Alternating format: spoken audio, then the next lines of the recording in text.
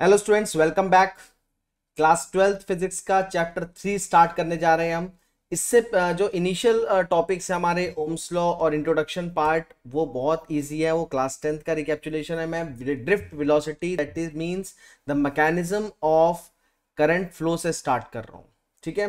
तो mechanism of current flow and drift velocity हमारा आज का पहला टॉपिक है chapter number three class twelfth यहाँ से इंपॉर्टेंट पार्ट आपका शुरू हो जाता है इस चैप्टर का और last Wheatstone bridge meter bridge potentiometer तक, ये सारे ही relations important topics Kirchhoff's law and cell each and every topic of this chapter is very important.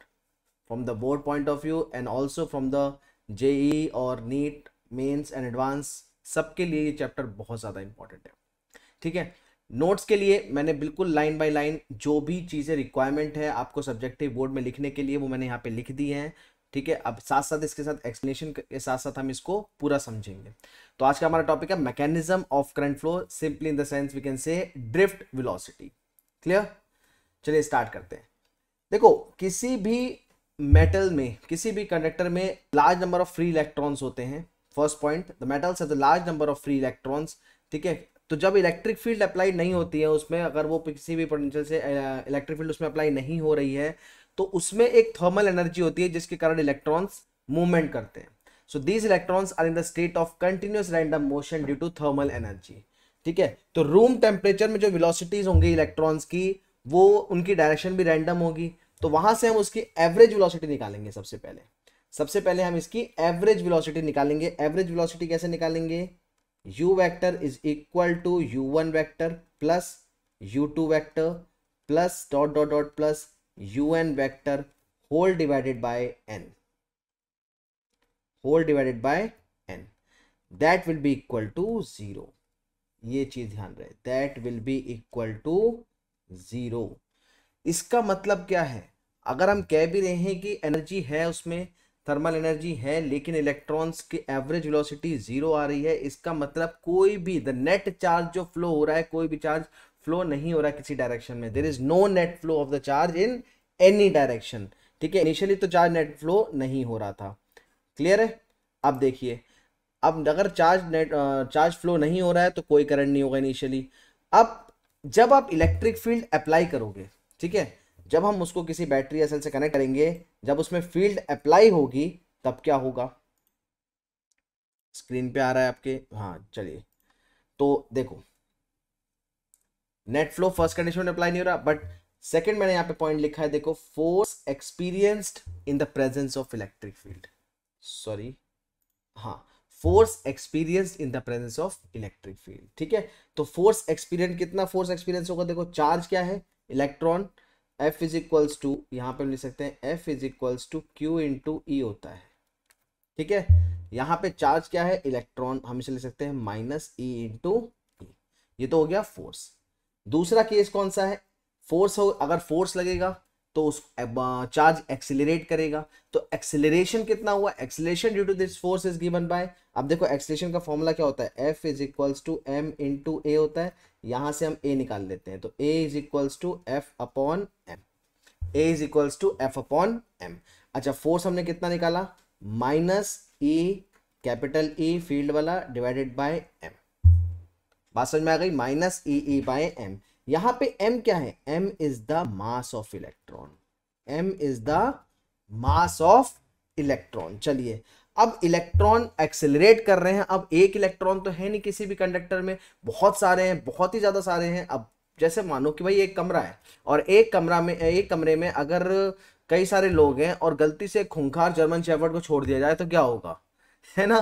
तो सारे के सारे जो बॉडी होंगी, वो सब रैंडमली मोशन करेंगी। उसी तरीके से यहाँ पे देखो, इतने सारा आपने जब फ़ील्ड अप्लाई करी फोर्स लग रही है हर एक इलेक्ट्रॉन पे, और हर एक इलेक्ट्रॉन जो है, वो रैंडमली मूव करेगा। अब भाई, इतने डिसिप्लिन तो है नहीं कि वो स्ट्रेट लाइन में मूव करेंगे, है ना? तो रैंडमली मूव करेंगे तो रैंडम मूव करेंगे तो क्या होगा देखो? इलेक्ट्रॉन्स कोलाइड करेंगे। ऑब्वियसली सी बात है, जरा सा मूवमेंट करेंगे, टकरा जाएँगे, जरा सा मूवमेंट करेंगे, टकरा जाएँगे, ठीक है? तो इनिशियली मान लेते हैं, यहाँ पे हम कंसीडर कर लेते हैं इनिशियल वेलोसिटी को u और फाइनल वेलोसिटी को v. और first equation of motion use करेंगे तो इस हिसाब से हमारी इक्वेशन क्या बनेगी? देखो फ़र्स्ट इलेक्ट्रॉन के लिए v1 one is equal to v one vector is equal to u one vector plus v is equal to u plus a t होता है। तो ए वन और टी टाइम की जगह यहाँ पे हम रिलैक्सेशन टाइम लेंगे टाउ ठीक है? टाउ वन अच्छा ए वन की हम बात नहीं कर रहे हैं अभी। क्यों? क्योंकि हमें एक्सलेशन सब पे कॉमन होगा। तो ये हो जाएगा u one plus a tau one इसी तरीके से हम लिख सकते हैं v two vector is equal to u two vector plus a tau two ठीक है?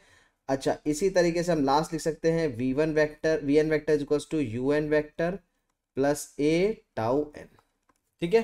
एन नंबर ऑफ़ इलेक्ट्रॉन्स के लिए हमने फ़र्स्ट इक्वेशन ऑफ़ मोशन से उसकी फाइनल वेलोसिटी निकाल दी। फाइनल वेलोसिटी निकालने का मोटिव था हमें एवरेज वेलोसिटी निकालनी थी फॉर एन इलेक्ट्रॉन्स ठीक है? देखो स्मॉल एन और कैपिटल एन में मैं शुरू से आप लोग को बताते जा रहा हूँ स्मॉल एन और कैपिटल एन के बारे में डिफरेंस इसका ध्यान रहे, इसमें कंफ्यूज नहीं होना स्मॉल एन और कैपिटल एन ठीक है?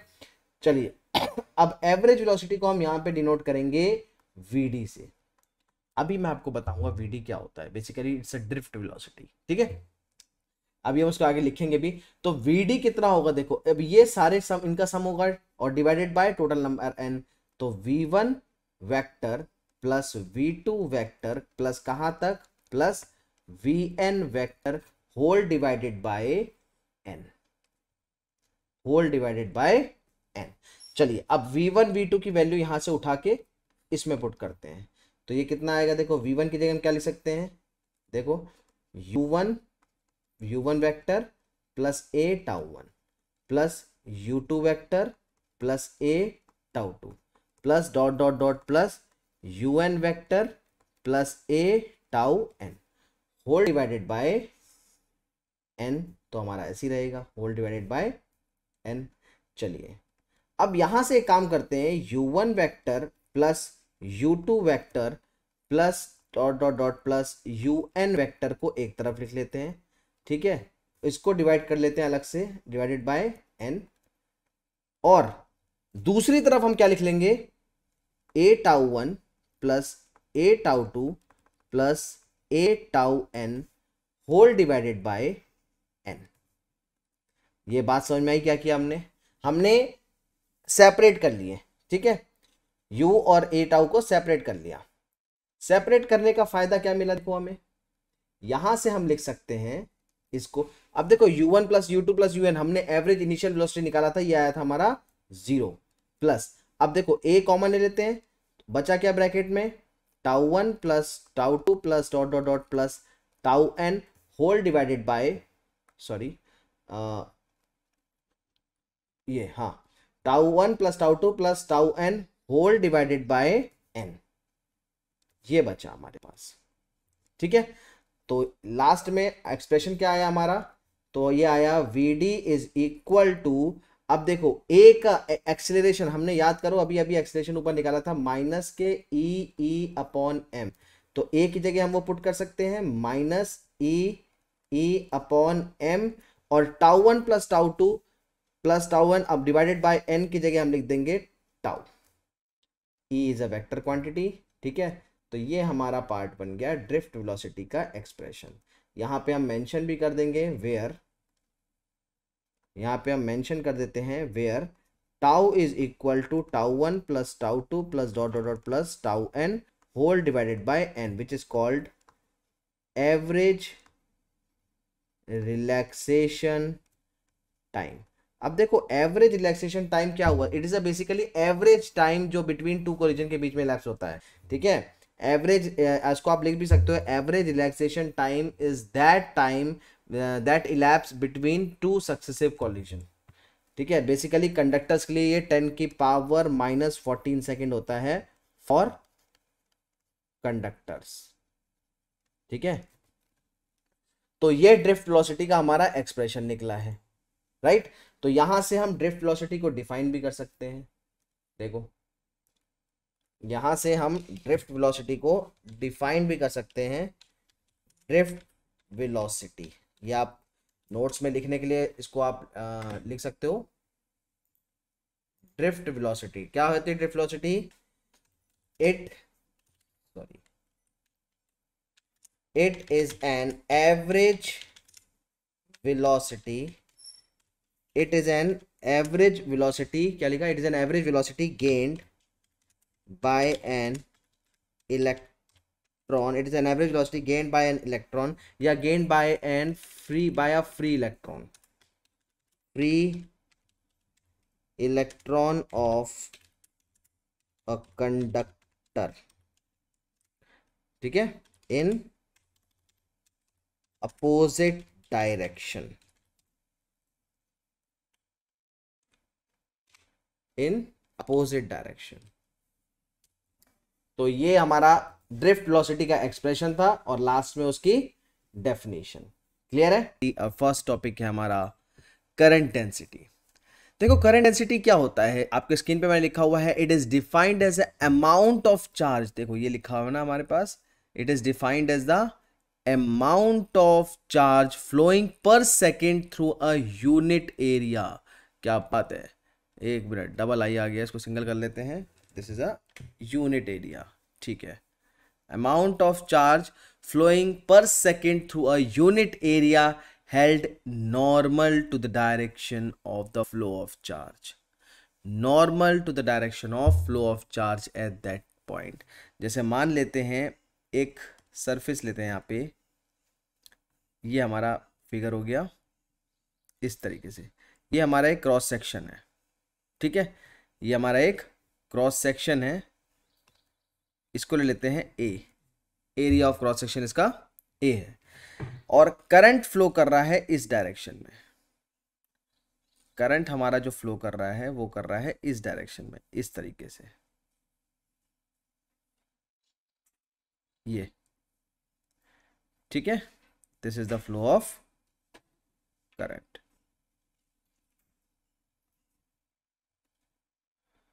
इस केस में, अब देखो।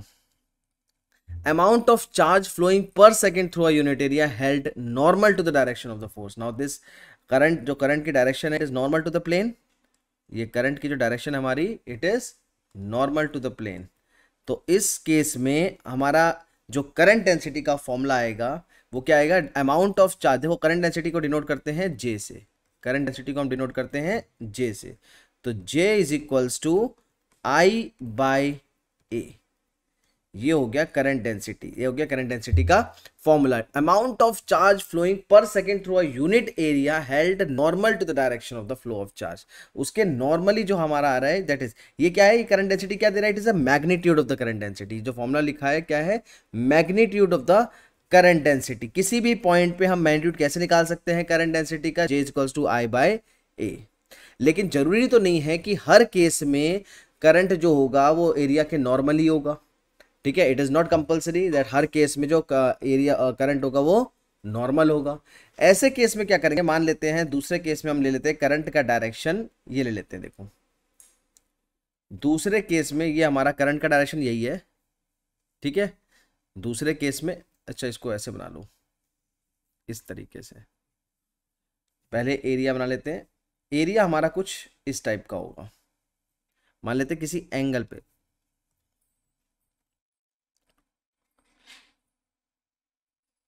This is the area clear है? अब देखो, अब इस केस में क्या होगा?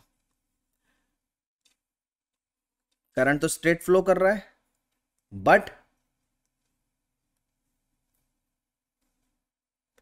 एरिया जो है एक एंगल पे एक्ट कर रहा है।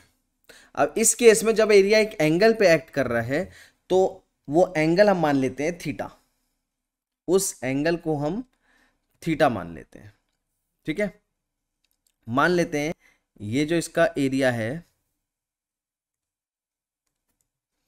ये देखो। इसका एरिया इस तरफ़ है और बीच में जो एंगल बन रहा है that is theta this angle is sorry हाँ ये एंगल हमारा बन रहा है थीटा। अब ऐसे केस में करंट डेंसिटी का मैग्नीट्यूड कैसे निकालेंगे? कोई फ़र्क नहीं आएगा, बस आपको क्या करना है, अगर फिजिक्स में कोई भी चीज़ किसी एंगल पे एक्ट करती है तो उसके दो कंपोनेंट टूटते हैं नॉर्मल कंपोनेंट और perpendicular sorry perpendicular component and parallel component आप उसी के दो कंपोनेंट ब्रेक करिए, ठीक है? ब्रेक कंपोनेंट अगर हम ब्रेक करेंगे तो देखो क्या होगा, एक कॉम्पोनेंट हमारा बनेगा ये वाला, एक कॉम्पोनेंट हमारा ये हो गया और एक कॉम्पोनेंट हमारा ये हो गया। अब देखते हैं कौन सा कॉम्पोनेंट इफ़ेक्टिव है।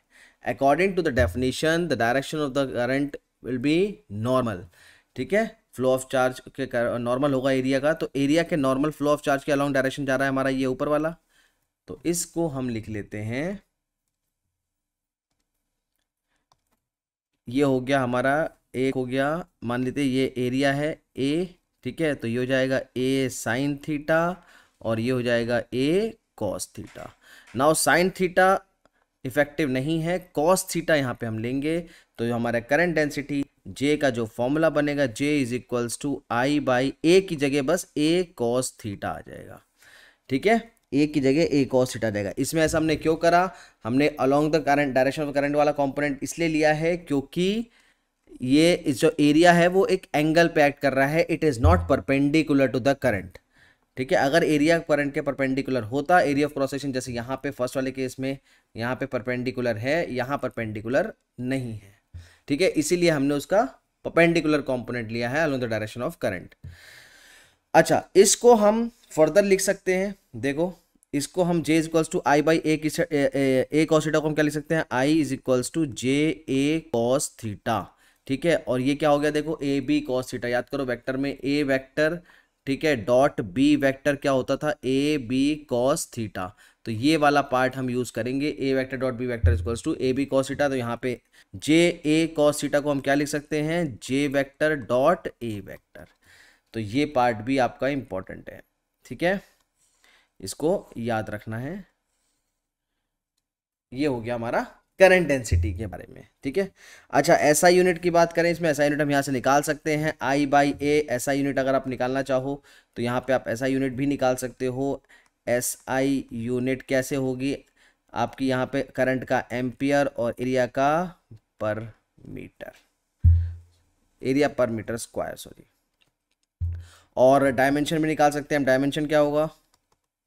यहीं पे अगर हम डायमेंशन की बात करना चाहें तो करंट का डायमेंशन देखो और एरिया का डायमेंशन करंट हो गया एम्पियर और एरिया का डायमेंशन एल स्क्वायर तो ए एल स्क्वायर ठीक है? Sorry A L minus two आएगा, नीचे एरिया ठीक है?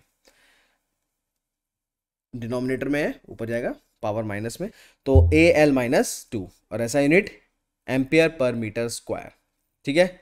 तो ये है हमारा बेटा करंट डेंसिटी के बारे में। अब करंट डेंसिटी के बारे में एक रिलेशन हमें और पढ़ना होगा इलेक्ट्रॉन मोबिलिटी देखो, किसी भी मटेरियल की जो कंडक्टिविटी होती है, वो उसके मोबाइल चार्ज करियर्स के थ्रू होती है। ठीक है? मोबिलिटी का मतलब ही क्या है? देखो फ्लो फ्लोनेस तो यहाँ पे जैसे हम ले लें, किसी भी कंडक्टर में इलेक्ट्रॉन्स होते हैं मेटल्स में।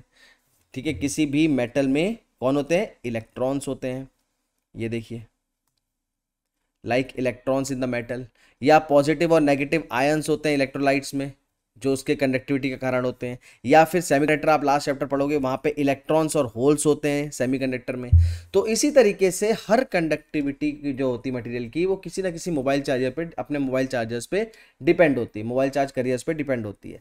तो यहाँ पे मोबिलिटी को हम कैसे डिफाइन करेंगे? It is defined as drift velocity acquired by it in a unit electric field drift velocity देखो ये लिखा है हमारा।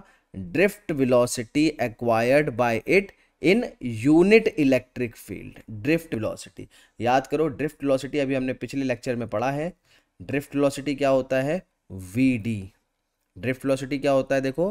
V D so electron mobility defined drift velocity acquired by it in unit electric field तो V D upon E इसको हम mu से denote करते हैं। Mu is equals to V D upon E ये हो गया हमारा इलेक्ट्रॉन मोबिलिटी का relation mu is equals to V D upon E अब तो ये दो टॉपिक हमें पढ़ने थे। इसके हिसाब से अब हम मेन अपना स्टार्ट करने वाले हैं रिलेशंस ठीक है? इन सब के बीच में क्या रिलेशंस होते हैं? ये स्टार्ट करने वाले हैं। आप पॉज करके वीडियो को, आप नोट्स भी बना सकते हो। मैं टाइपिंग में आपको दे भी रहा हूँ नोट्स ठीक है? अब सबसे पहला हमारा है relation between current and drift velocity अब देखो वेलोसिटी ड्रिफ्ट वेलोसिटी और करंट के बीच में हमें रिलेशंस निकालने अब ये रिलेशंस कैसे ड्राइव होंगे? देखो एक आध रिलेशन नहीं होता, कोई भी किसी से भी हम रिलेट कर सकते हैं न्यूमेरिकल में किसी भी चीज़ की ज़रूरत पड़ सकती है तो उसको ध्यान से समझिएगा।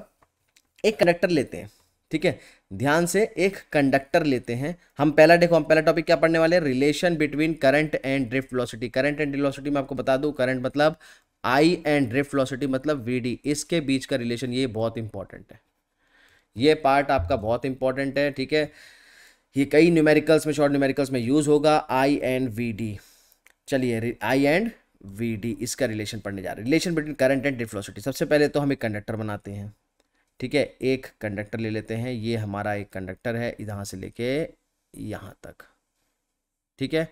इस कंडक्टर थोड़ा बड़ा हो गया। छोटा ले लेते हैं। ये हो गया हमारा कंडक्टर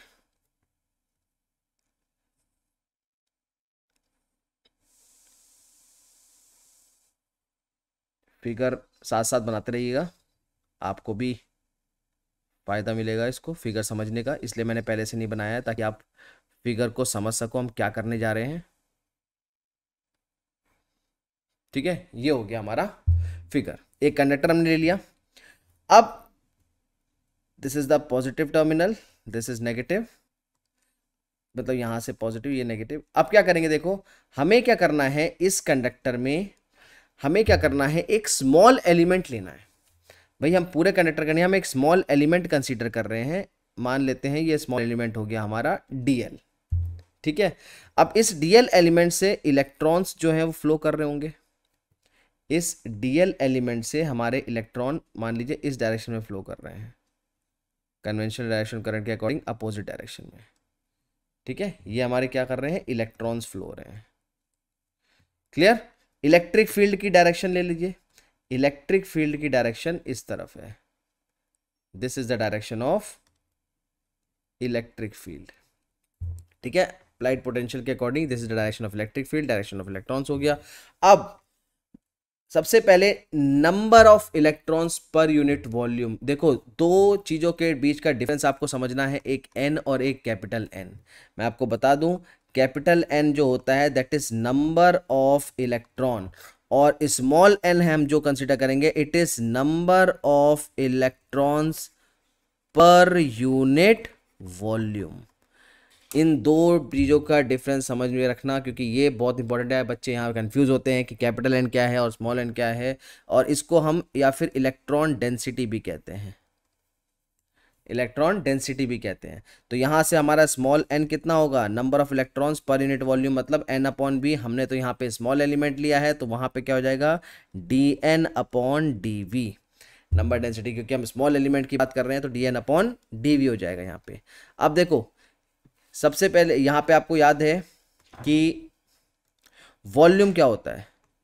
वॉल्यूम क्या होता है हमारा? एरिया इंटू लेंथ ये मैथ्स में पढ़ा होगा आपने।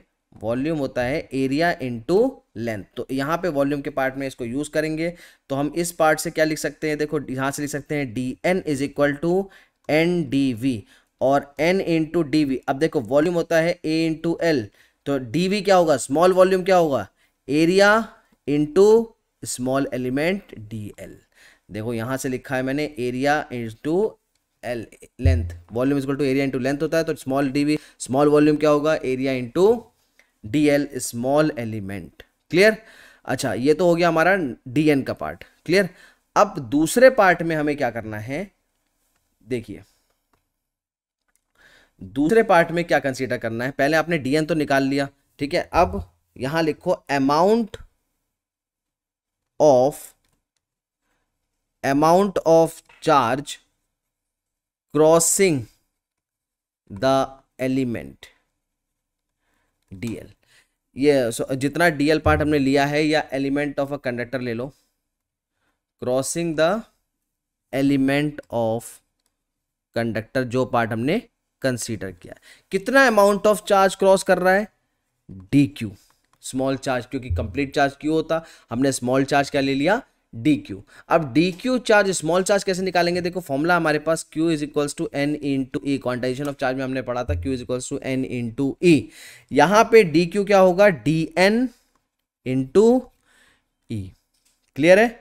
अब देखो डी एन का पार्ट अभी आपने निकाल रखा है एन ए डी एल तो यहाँ लिख लेंगे N A D L into E यहाँ से इस वाले पार्ट का डी का पार्ट हम यहाँ यूज़ करेंगे तो N A D L into E जिसको हम लिख सकते हैं D Q is equals to N E A D L ठीक है, इस पार्ट को याद रखो।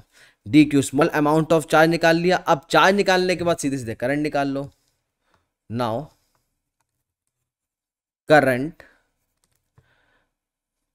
इज़ अच्छा करंट का फॉर्मूला क्या होता है? I is equal to D Q by D T ठीक है? I is equals to D Q by D T तो यहाँ से हम क्या लिख सकते हैं? और I is equals to N E A D L by D T और यहाँ से हम क्या लिख सकते हैं? और वी कैन राइट और current I is equals to N E A D L by D T अब याद रखो D L by D T क्या होता है? Drift velocity V D D L by D T क्या होता है? ड्रिफ्ट वेलोसिटी वी डी तो I is equals to N E A V D ये सबसे बहुत इंपॉर्टेंट रिलेशन है करंट और ड्रिफ्ट वेलोसिटी का। देखो, ये I for current and V D for drift velocity तो ये हमारा पहला रिलेशन निकला है करंट और ड्रिफ्ट वेलोसिटी का। I is equals to N E A V D clear है? यहाँ पे देखो, हमने इसको तीन पार्ट में करा है मैं आपको शुरू से बता दूँ। सबसे पहले हमने डीएन निकाला, ठीक है? सबसे पहले हमने क्या किया, जो उतने से छोटे से एलिमेंट में, छोटे से एलिमेंट में कितने नंबर ऑफ़ इलेक्ट्रॉन्स फ्लो कर रहे हैं, हमने वो निकाला डीएन उसके बाद अमाउंट ऑफ़ चार्ज वहाँ पे उस करंट फ्लो करने का चार्ज कितना है? डी क्यू और उसके बाद उसको करंट के फॉर्मूले में पुट कर दिया is equal to D Q by D T चलिए, अगले रिलेशन की बात करते हैं। नेक्स्ट रिलेशन है हमारा।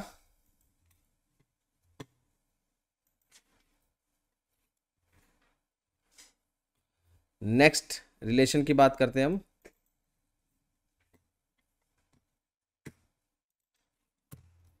एक मिनट सॉरी हाँ नेक्स्ट रिलेशन करेंगे हम करंट और इलेक्ट्रॉन मोबिलिटी का।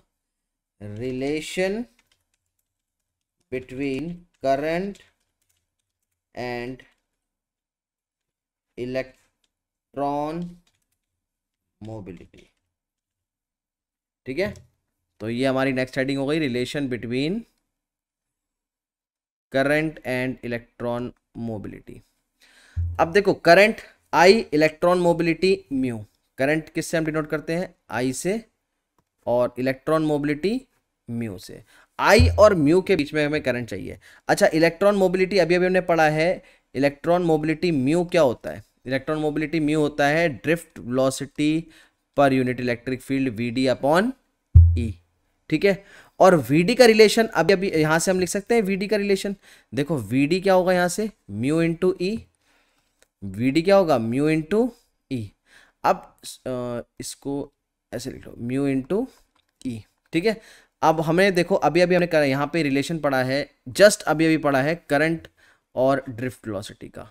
ठीक है, हम यहाँ पे यूज़ करेंगे from relation of I and V D I is equals to N E A V D होता है। I is equals to N E A V D होता है। तो वी डी की जगह हम क्या पुट कर सकते हैं? म्यू ई यहाँ पे पुट कर सकते हैं। तो हमारा रिलेशन निकलेगा और we can write I is equals to n e A और वी डी की जगह म्यू इंटू ई ये हमारा दूसरा फॉर्मूला बन गया जो काम आएगा न्यूमेरिकल्स में जहाँ पे इलेक्ट्रॉन मोबिलिटी और करंट गिवन हो इंस्टेड ऑफ़ ड्रिफ्ट वेलोसिटी और करंट ध्यान रहे, ये वहाँ पे काम आएगा। डायरेक्टली आप ये रिलेशन यूज़ कर सकते हो। I is equals to n e A mu e clear है? चलिए नेक्स्ट रिलेशन की बात करते हैं। नेक्स्ट रिलेशन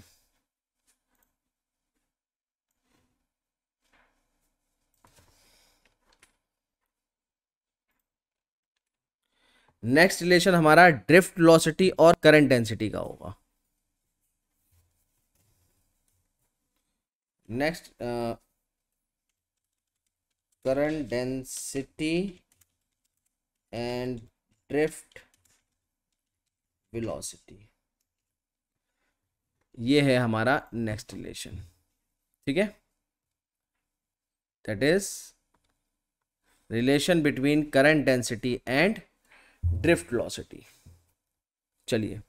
अब ड्रिफ्ट वेलोसिटी करंट डेंसिटी को हम किससे डिनोट करते हैं? करंट डेंसिटी हमारी डिनोट करते हैं हम जे से और ड्रिफ्ट वेलोसिटी को वीडी से। अब जे और वीडी के बीच का रिश्ता निकालना है। ये रिश्ता निकालने, रिश्ते ढूँढने वाली बात बड़ी भयंकर है। इसको ध्यान से समझिएगा, क्योंकि न्यूमेरिकल्स में कौन सा पार्ट कहाँ पे यूज़ हो जाएगा डायरेक्ट आपको खुद नहीं पता लगेगा। बहुत छोटे छोटे न्यूमेरिकल्स आते हैं। बस आपको वहाँ पे ध्यान रखना है गिवन क्या है, उसके बेसिस पे क्या रिलेट करके हम उसको निकाल सकते हैं। ये चीज़ आप वहीं सीख पाओगे।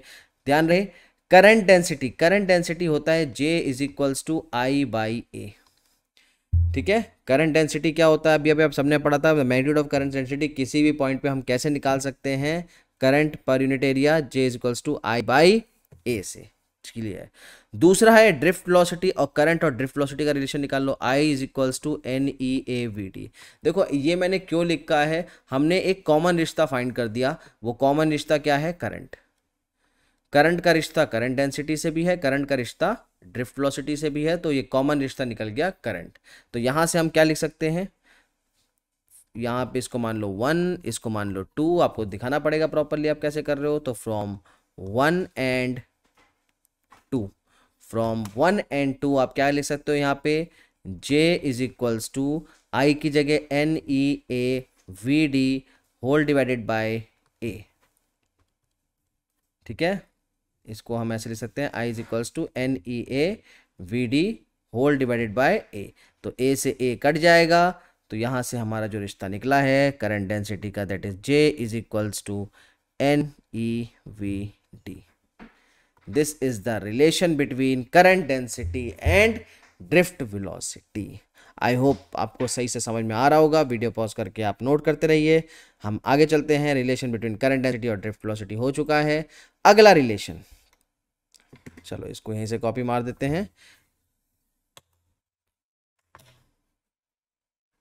तो ये हो जाएगा हमारा, एक minute.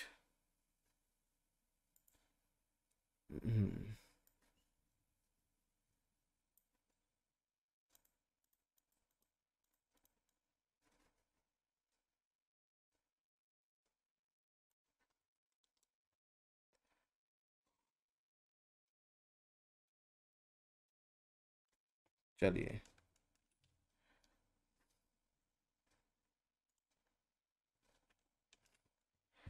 Current density and mass current density और मास के बीच में रिलेशन पढ़ेंगे अब हम। Current density relation between current density and mass ठीक है? ये हमारा नेक्स्ट रिलेशन है। चलिए करंट डेंसिटी और मास के बीच में रिलेशन निकालते हैं। यहाँ पे ड्रिफ्ट वेलोसिटी का प्रॉपर फॉर्मूला यूज़ करेंगे। पहले तो रिलेशन कैसे निकालेंगे? देखो current density J is equals to अब देखो current density J is equals to क्या होता है? आई अपॉन ए ठीक है, ये तो आप सबको पता है। और यहाँ से J is equals to I upon A से हमने अभी अभी ड्राइव किया J is equals to n e v d ठीक है? अभी पहले पिछली बार हमने J equals to I upon A use किया था, अब हम इसको यूज़ करेंगे J equals to n e v d इसको मान लेते हैं फ़र्स्ट इक्वेशन क्लियर है? दूसरी तरफ़ क्या यूज़ करेंगे देखो? दूसरी तरफ़ आप देखो मास को लाना है और मास को हम कैसे ला सकते हैं? ड्रिफ्ट कॉमन रिलेशन ढूंढो। मास को हम कैसे लगते हैं? V d is equal drift is v d is equals to e E upon m into tau average relaxation time और मास का रिलेशन ड्रिफ्ट से निकाल लिया। माइनस भी होता है बट यहाँ पे मैग्नीट्यूड की बात कर रहे हैं। तो drift velocity v d is equals to minus के e E upon m into tau होता है where tau is average relaxation time याद होगा आपको tau one plus tau two plus dot dot tau n divided by n करा था हमने। Average relaxation time drift velocity के एक्सप्रेशन में, पिछले लेक्चर में हमने कर रखा है इसको। यहाँ पे यूज़ क्या करेंगे? V d is equals to e E upon m into tau ऐसा क्यों कर रहे हैं? देखो कॉमन रिलेशन निकल गया हमारा वी डी भाई, हमें निकालना है relation between J and m ठीक है? तो जे का रिलेशन वी से होता है ड्रिफ्ट वेलोसिटी से, और ड्रिफ्ट वेलोसिटी का रिलेशन मास से होता है। इसको इक्वेशन नंबर टू मान लेते हैं। इनको दोनों को कंपेयर करते हैं फ्रॉम वन एंड टू हम इनको कंपेयर करेंगे फ्रॉम वन एंड टू तो स्टूडेंट्स यहाँ पे क्या हो जाएगा? हम रखेंगे j is equals to n e और वी डी की जगह क्या रखेंगे? E E upon m into tau clear है? तो यहाँ से हम रिलेशन कैसे निकाल सकते हैं? आप देखो, यहाँ से हमारा रिलेशन कैसे निकलेगा? N e square e into e e square e upon m into tau ये हो गया करंट डेंसिटी और मास के बीच का रिलेशन ये हो गया करंट डेंसिटी और मास के बीच का रिलेशन। ठीक है? तो ये था relation between current density and mass. अब वो है रेजिस्टिविटी, रेजिस्टेंस, कंडक्टिविटी, कंडक्टेंस। हाँ चारों टॉपिक मैंने इसीलिए एक साथ लिखे हैं क्योंकि इनका रिलेशन, इनके बारे में और इनसे क्या डिराइव होगा लास्ट में वो समझना है हमें। ठीक है? और हो हो सकता है कि रेजिस्टिविटी और कंडक्टिविटी आपस में कुछ रिलेट करते हो, वो भी हमें समझना है। और रेजिस्टेंस एंड कंडक्टेंस आपस में रिलेट करते हैं, वो भी हमें समझना है। ठीक है? तो स्टार्ट करते हैं सबसे पहले। रेजिस्टेंस और रेजिस्टिविटी देखो रेजिस्टेंस कुछ इस तरीके का दिखता है। जो आप, अगर आप रियलिटी में इलेक्ट्रिकल कंपोनेंट देखोगे इलेक्ट्रिकल रेजिस्टेंस तो कुछ इस तरीके का दिखेगा, जिसमें ये जो कलर है, ये अलग अलग कलर दिख रहे हैं, ये भी कुछ ना कुछ सिग्निफाई करते हैं, जो हम आगे लेक्चर सिक्स में पढ़ेंगे कलर कोड ठीक है? रेजिस्टिविटी क्या होता है? ये क्लास टेंथ में आप लोग एक बार पढ़ चुके हो ऑलरेडी आप लोग को याद होगा R is equals to rho l by A calculate करा था हमने। क्लास टेंथ में, ये क्या था? Factors on which resistance depend length के डायरेक्टली प्रोपोर्शनल एरिया के इन्वर्सली प्रोपोर्शनल तो यहाँ पे जो ये रो था ना दिस वॉज़ रेजिस्टिविटी ये जो रो था, ये था हमारा रेजिस्टिविटी ठीक है? चलो। अब स्टार्ट करते हैं हम।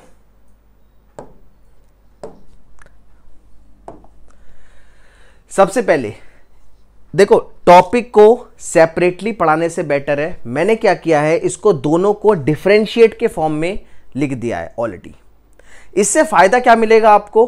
कि रेजिस्टेंस और रेजिस्टिविटी के बारे में भी समझ में आ जाएगा प्लस डिफ्रेंशिएट भी समझ में आ जाएगा एक ही बार में।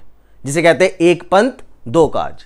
अब देखो रेजिस्टेंस रेजिस्टेंस आपको मैंने ऑलरेडी बता दिया है कि रेजिस्टेंस कुछ इस तरीके का दिखता है। कलर कोड हम बाद में पढ़ेंगे, ठीक है? सबसे पहले रेजिस्टेंस होता क्या है? It is the property of an object क्या होता है?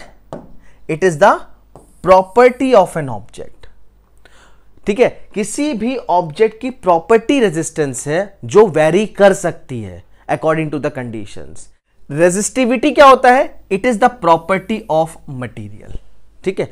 अब फॉर्मूले पे आते हैं, देखो रेजिस्टेंस रेजिस्टेंस का फॉर्मूला सिंपली आपने V is equal to I R पढ़ा है तो यहाँ से R is equal to V by I हमारा ये एक फॉर्मूला है जो ऑलरेडी आपको पता है। ठीक है ओम्स लॉ से पढ़ते हुए आ रहे हैं। दूसरा जो हमने पढ़ा था फैक्टर्स के बेसिस पे, दूसरा फॉर्मूला था R is equals to rho l by A ठीक है, ये दो तो बेसिक मेन फॉर्मूले थे। लेकिन इनके अलावा भी अभी इसी लेक्चर के लास्ट पार्ट में हम डिराइव करेंगे नंबर डेंसिटी और दूसरे चीज़ों के टर्म्स में। तो वो फॉर्मूला भी मैं आपको बता देता हूँ। रेजिस्टेंस का एक फॉर्मूला और होता है। ठीक है? और वो फॉर्मूला होता है R is equal to m l by n e square tau into A ध्यान रखना। ये फॉर्मूला अभी मैंने लिख दिया है बट हम इसको डिराइव करेंगे लास्ट में। डिराइव्ड एट लास्ट ठीक है? अभी इसी लेक्चर के लास्ट में ड्राइव करेंगे। ये इंपॉर्टेंट है जो अब यहाँ पे यूज़ होगा। ये तो बेसिक टेंथ वाले फॉर्मूले थे। ये जो थे this you have studied in class tenth अब ये वाले फॉर्मूले हैं। अब देखो, ये हमारे length area average relaxation time number density electron इन चीज़ों पे डिपेंड करता है। ये कैसे डिपेंड करता है? कहाँ से निकला? ये हम बात करेंगे लास्ट लेक्चर में। ठीक है? सेम अगर हम यहाँ पे देखें। ठीक है? रेजिस्टिविटी के फॉर्मूले में। रेजिस्टिविटी का फॉर्मूला भी आपको बहुत अच्छी तरीके से आता है। Rho is equals to R into A by l यहाँ पे हम ऑलरेडी लिख चुके हैं, यहीं से निकला है देखो रो है ए को एरिया को उधर ले जाओ आर इंटू ए और एल नीचे आ जाएगा। तो यहाँ से रजिस्टिविटी का एक फॉर्मूला जो हम ऑलरेडी पढ़ चुके हैं, ठीक है? दूसरा फॉर्मूला अच्छा यहाँ पे हम ये भी लिख सकते हैं आर क्या होता है?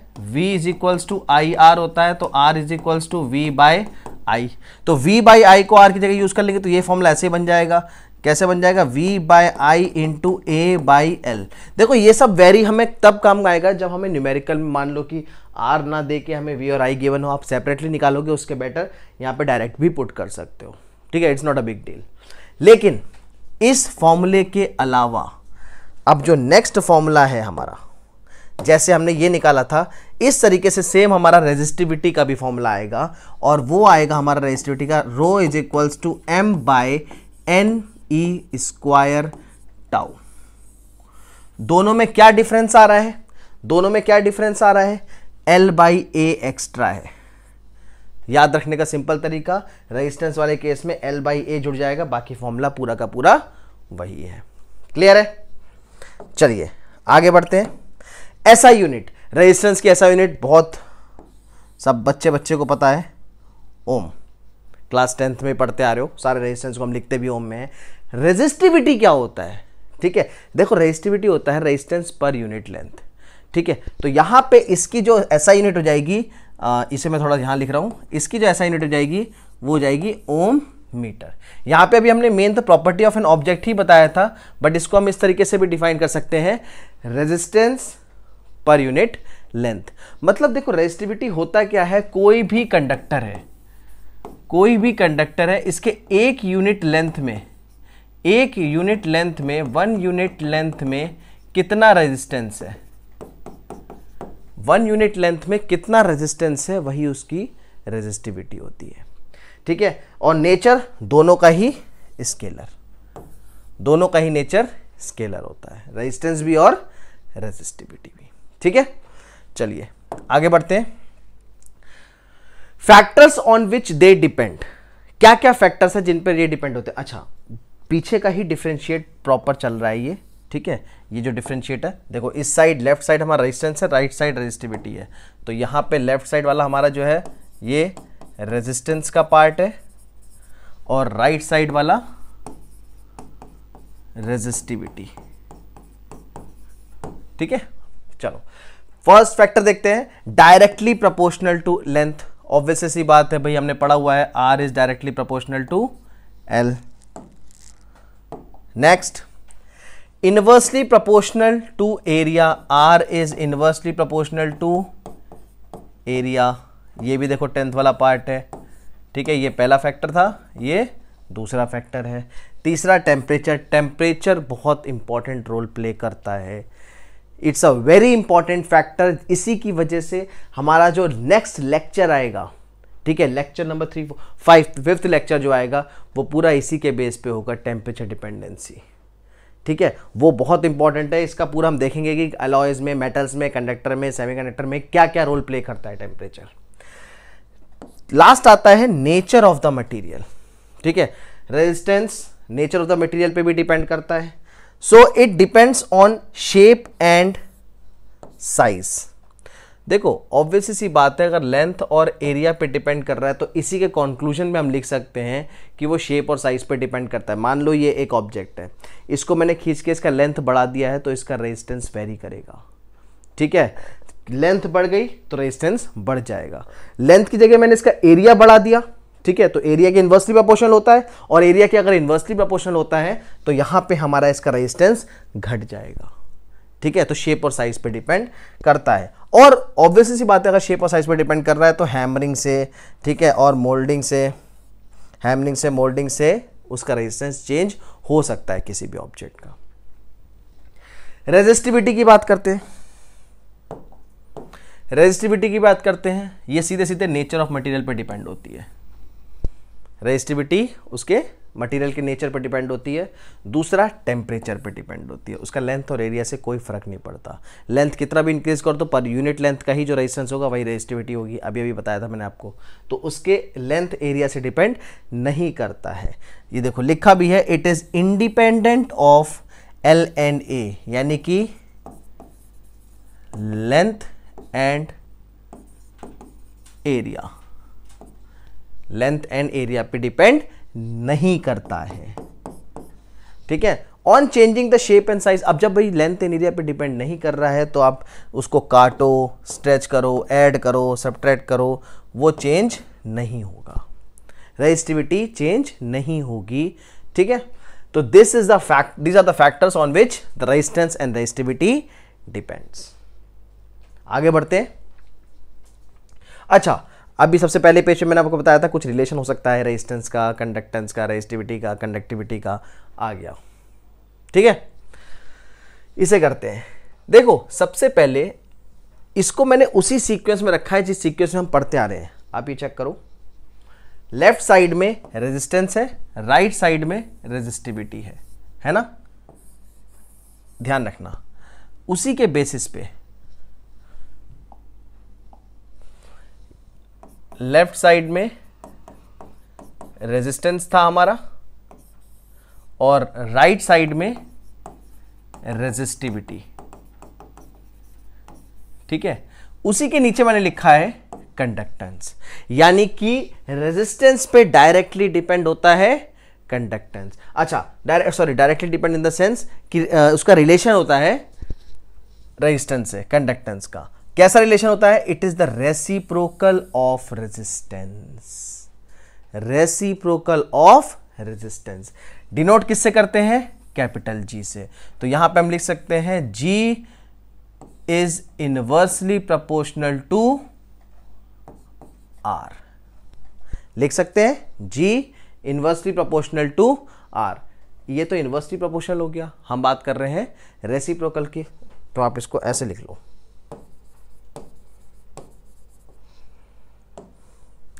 आ, इसमें हम लिख सकते हैं G is equal to one by R ठीक है? चलिए फॉर्मूला क्या हो गया? G is equal to one by R अब देखो इस फॉर्मूले से काफ़ी सारे फॉर्मूले निकाले जा सकते हैं। जितने भी आर के फॉर्मूले यहाँ पुट कर दो G का भी फॉर्मूला बन जाएगा। जैसे अभी पीछे हमने आर का फॉर्मूला क्या पढ़ा था? आर का फॉर्मूला हमने पढ़ा था। चलो इसी इसी को यूज़ कर लेते हैं रो एल बाई ए को। सिंपल इसी को यूज़ कर लेते हैं। आर क्या होता है? Rho L by A. तो जी का फॉर्मूला ये भी बन गया। G is equal to one by rho L by A. ठीक है? इसको भी पुट करोगे तो क्या आएगा? ए ऊपर आ जाएगा। तो G is equals to A by rho L एक फॉर्मूला ये भी बन गया। ठीक है? और आर के जो दूसरे फॉर्मूले पढ़े उसको भी पुट कर सकते हैं according to the need of the question clear ऐसा यूनिट अब देखो कंडक्टेंस का केस में जो रेजिस्टेंस की यूनिट होगी उसी को इन्वर्स कर देते हैं। रेजिस्टेंस की यूनिट हमारी क्या होती है? ओम तो ये क्या हो जाएगी? पर ओम पर ओम को हम मो और साइमन भी कहते हैं। ठीक है? पर ओम को मो और साइमन भी कहते हैं। सेम चीज़ आ जाते हैं कंडक्टिविटी के केस में। चलो कंडक्टिविटी वाला भी देख लेते हैं।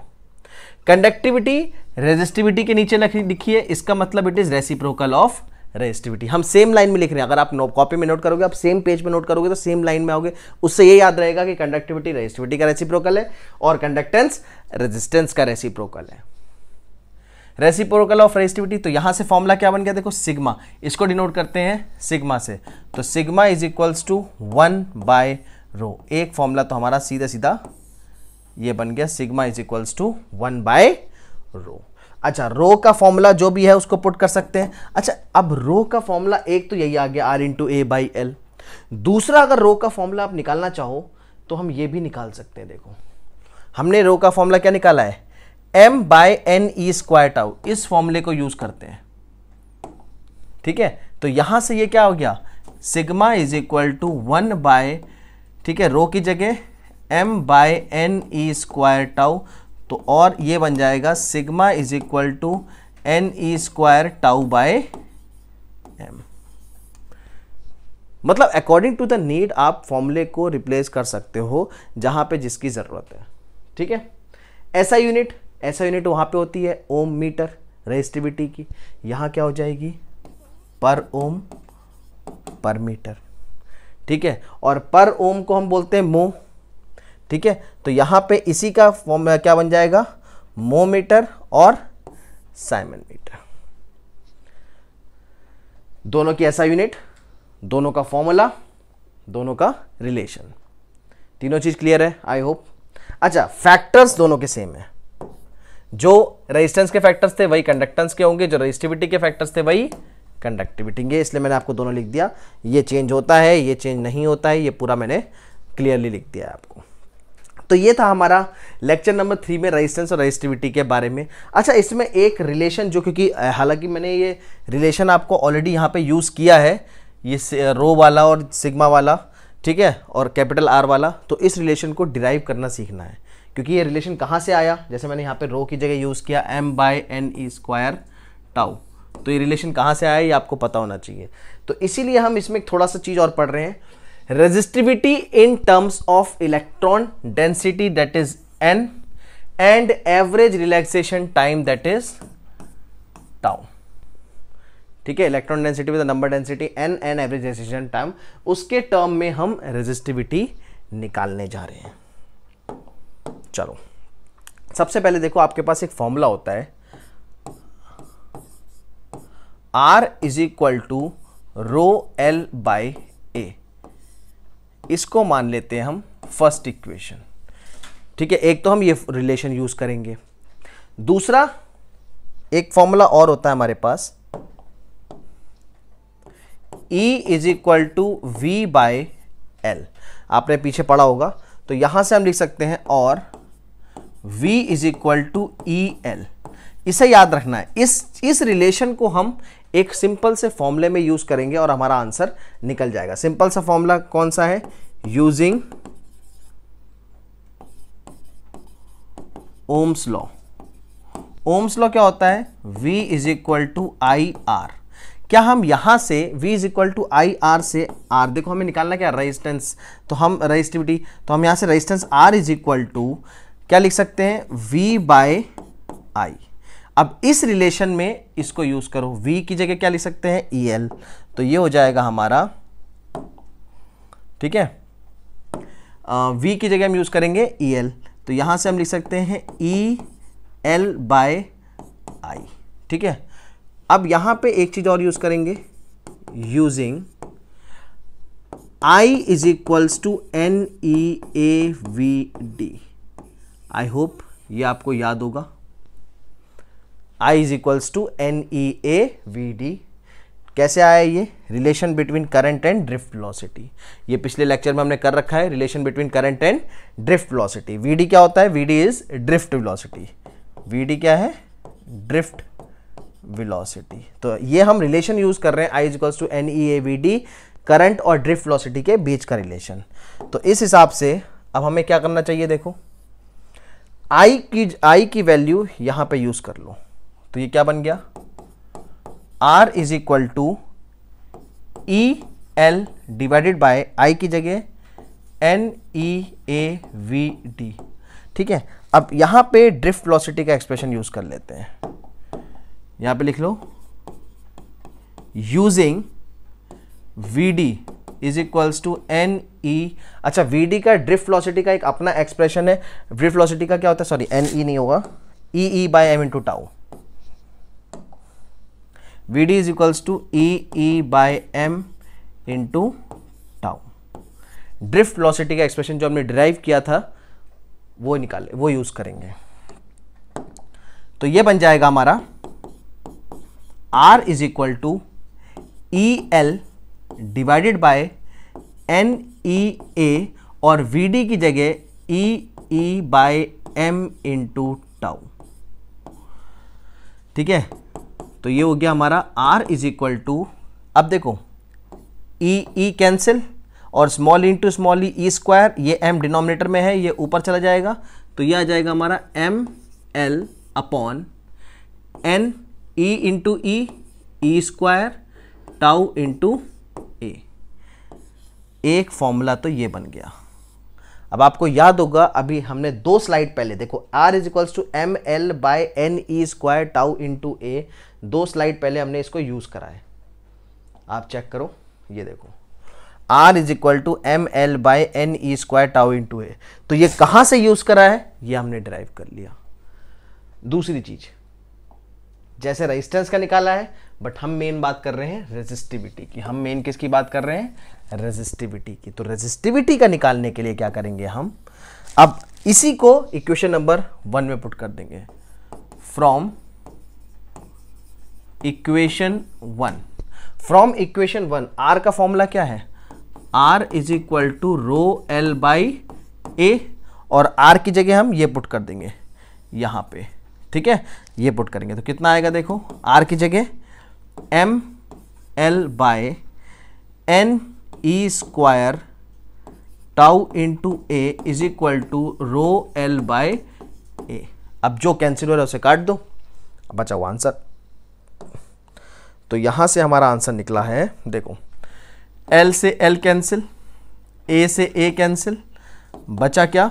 Rho is equal to M by N E square tau अब ये वही फॉर्मूला है जो अभी अभी हमने पीछे रेजिस्टिविटी के लिए यूज़ किया था। ठीक है? तो this is the relation between resistivity in terms of electron density and average relaxation time आप इसको आराम से नोट कर सकते हो। That is vector form of Ohm's law दो रिलेशन इसमें भी ड्राइव करेंगे, एक डिडक्शन ऑफ़ ओम्स लॉ और दूसरा उसका वेक्टर फॉर्म तो पहले वेक्टर फॉर्म करने जा रहे हैं हम, ठीक है? वेक्टर फॉर्म करने से पहले हम एक रिलेशन की बात करेंगे। Relation between current density conductivity and electric field current density को हम जैसे नोट करते हैं कंडक्टिविटी सिग्मा रेजिस्टिविटी कंडक्टिविटी हमने इससे पिछले लेक्चर में पढ़ा है और तीसरा है इलेक्ट्रिक फ़ील्ड ई ठीक है? इनके लगे, हमें इसके बारे में रिलेशन के बारे में देखना है। तो यहाँ पे हम सबसे पहले रिलेशन यूज़ करेंगे। Using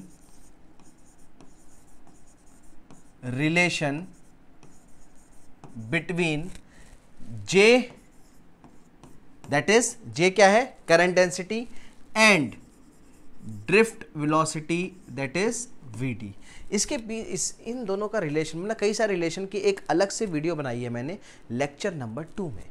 लेक्चर नंबर टू में सारे रिलेशंस हमने एक साथ पढ़े हैं। तो अगर आपको इसका रिलेशन नहीं याद है तो आप लेक्चर नंबर टू पे जाओ और उस रिलेशन को सीखो। क्योंकि यहाँ पे हम इन दोनों के रिलेशन को नहीं ड्राइव कर रहे हैं, इन दोनों का रिलेशन यूज़ कर रहे हैं। तो जे और वी डी का रिलेशन जो हमने पढ़ा था, वो था J is equals to N E V D ठीक है? ये हमारा रिलेशन था J is equals to N E V D और वी डी का अपने आप में एक ड्रिफ्ट वेलोसिटी का एक्सप्रेशन हमने निकाला है। और वो वी डी का एक्सप्रेशन क्या होता है? V D is equals to E E by M into tau आपको याद होगा ड्रिफ्ट वेलोसिटी का एक्सप्रेशन हमें क्या करना है? इस एक्सप्रेशन में वी डी की वैल्यू को पुट कर दो।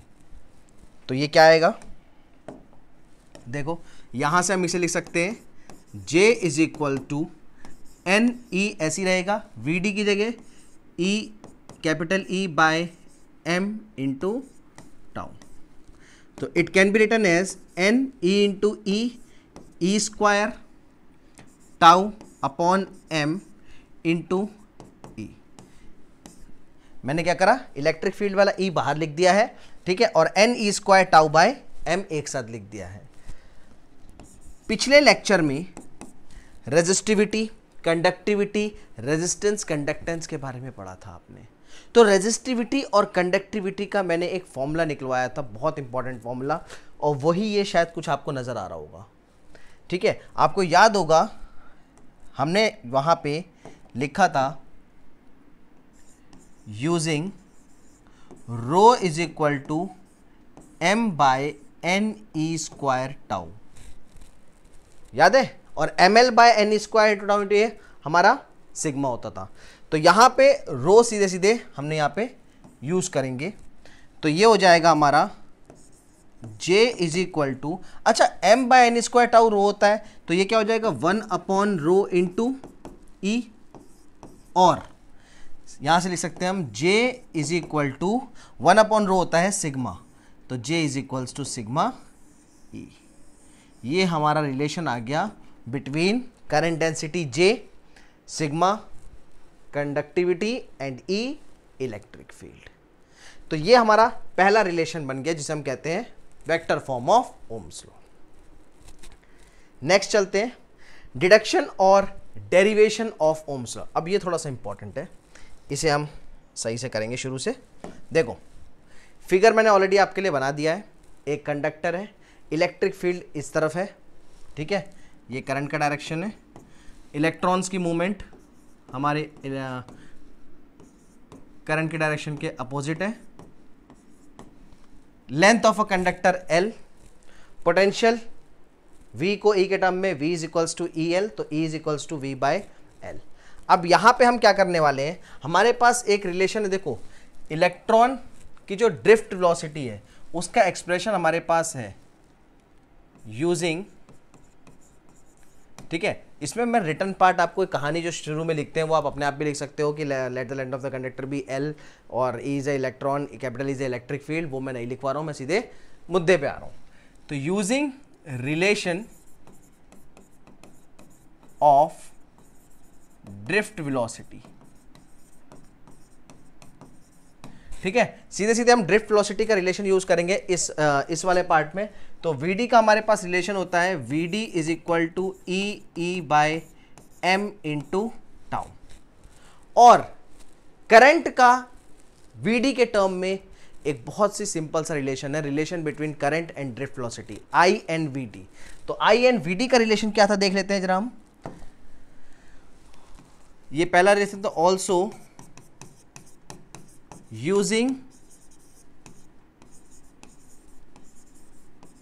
relation between I and V D तो उसका रिलेशन क्या होता था? I is equals to N E A V D ये दो रिलेशन का काम है हमारा। ठीक है? इन दो रिलेशन को हम यूज़ करने वाले हैं। अब देखो वी डी की जगह उसका एक्सप्रेशन पुट कर दो। ठीक है? तो हम लिख सकते हैं I is equals to N E A और वी डी की जगह हम पुट कर सकते हैं E E by M into tau ठीक है सॉल्व कर लेते हैं इसको. I is equal to N E into E E square ठीक है? ई स्क्वायर टाउ उसके बाद क्या बचा? A into E upon M अब देखो, यहाँ पे v is equal to E L यानी कि e is equal to V by L है। इस एक्सप्रेशन को यहाँ पे e की जगह यूज़ करना है। ठीक है? तो ये हो जाएगा हमारा, यहाँ पे देखो, i is equal to N E square ठीक है? टाउ बाय एम ये तो ऐसी रहने दो। अब बचा क्या? A इंटू ई ठीक है? A को ऐसी रहने देते हैं और e की जगह ये यूज़ कर लेते हैं। तो ई e की जगह क्या यूज़ करेंगे? वी बाई एल कहाँ से यूज़ कर रहे हैं? देखो, यहाँ से। ठीक है? ई e की जगह वी बाय एल यहाँ से यूज़ कर रहे हैं। तो ये आ जाएगा हमारा। I is equal to N E square tau upon M into A ठीक है? अच्छा v को इधर ले जाते हैं। I बाय वी बचा क्या? A by L I by V को इसको हम पूरे इक्वेशन को पलट दे रहे हैं। ठीक है, इसको उल्टा कर दे रहे हैं। तो आई बाई वी की जगह अगर हम इसे वी बाई आई लिखें तो क्या आएगा? M by N E square tau into A by L ठीक है? M by N E square tau into A by L sorry L by A यहाँ पे लास्ट में। पलट दिया है तो एल ऊपर जाएगा ए नीचे आएगा। एल बाय क्लियर चलिए, अब v बाय आई उसको ऐसी रहने दो। V बाय आई को ऐसी रहने दो। M by N E square tau अभी अभी पीछे इक्वेशन में देखो, यहाँ पे यूज़ किया था हमने। M by N E square tau होता है रो तो यहाँ पे इसकी जगह हम लिख सकते हैं। M by N E square tau की जगह हम क्या लिख सकते हैं?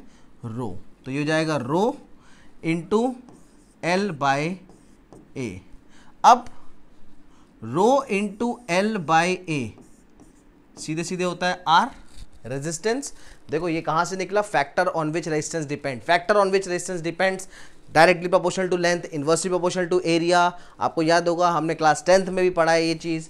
तो यहाँ से निकल के आया रेजिस्टिविटी का फॉर्मूला भी होता है R into A by L तो R is equals to rho L by A की जगह हम आर यूज़ करेंगे.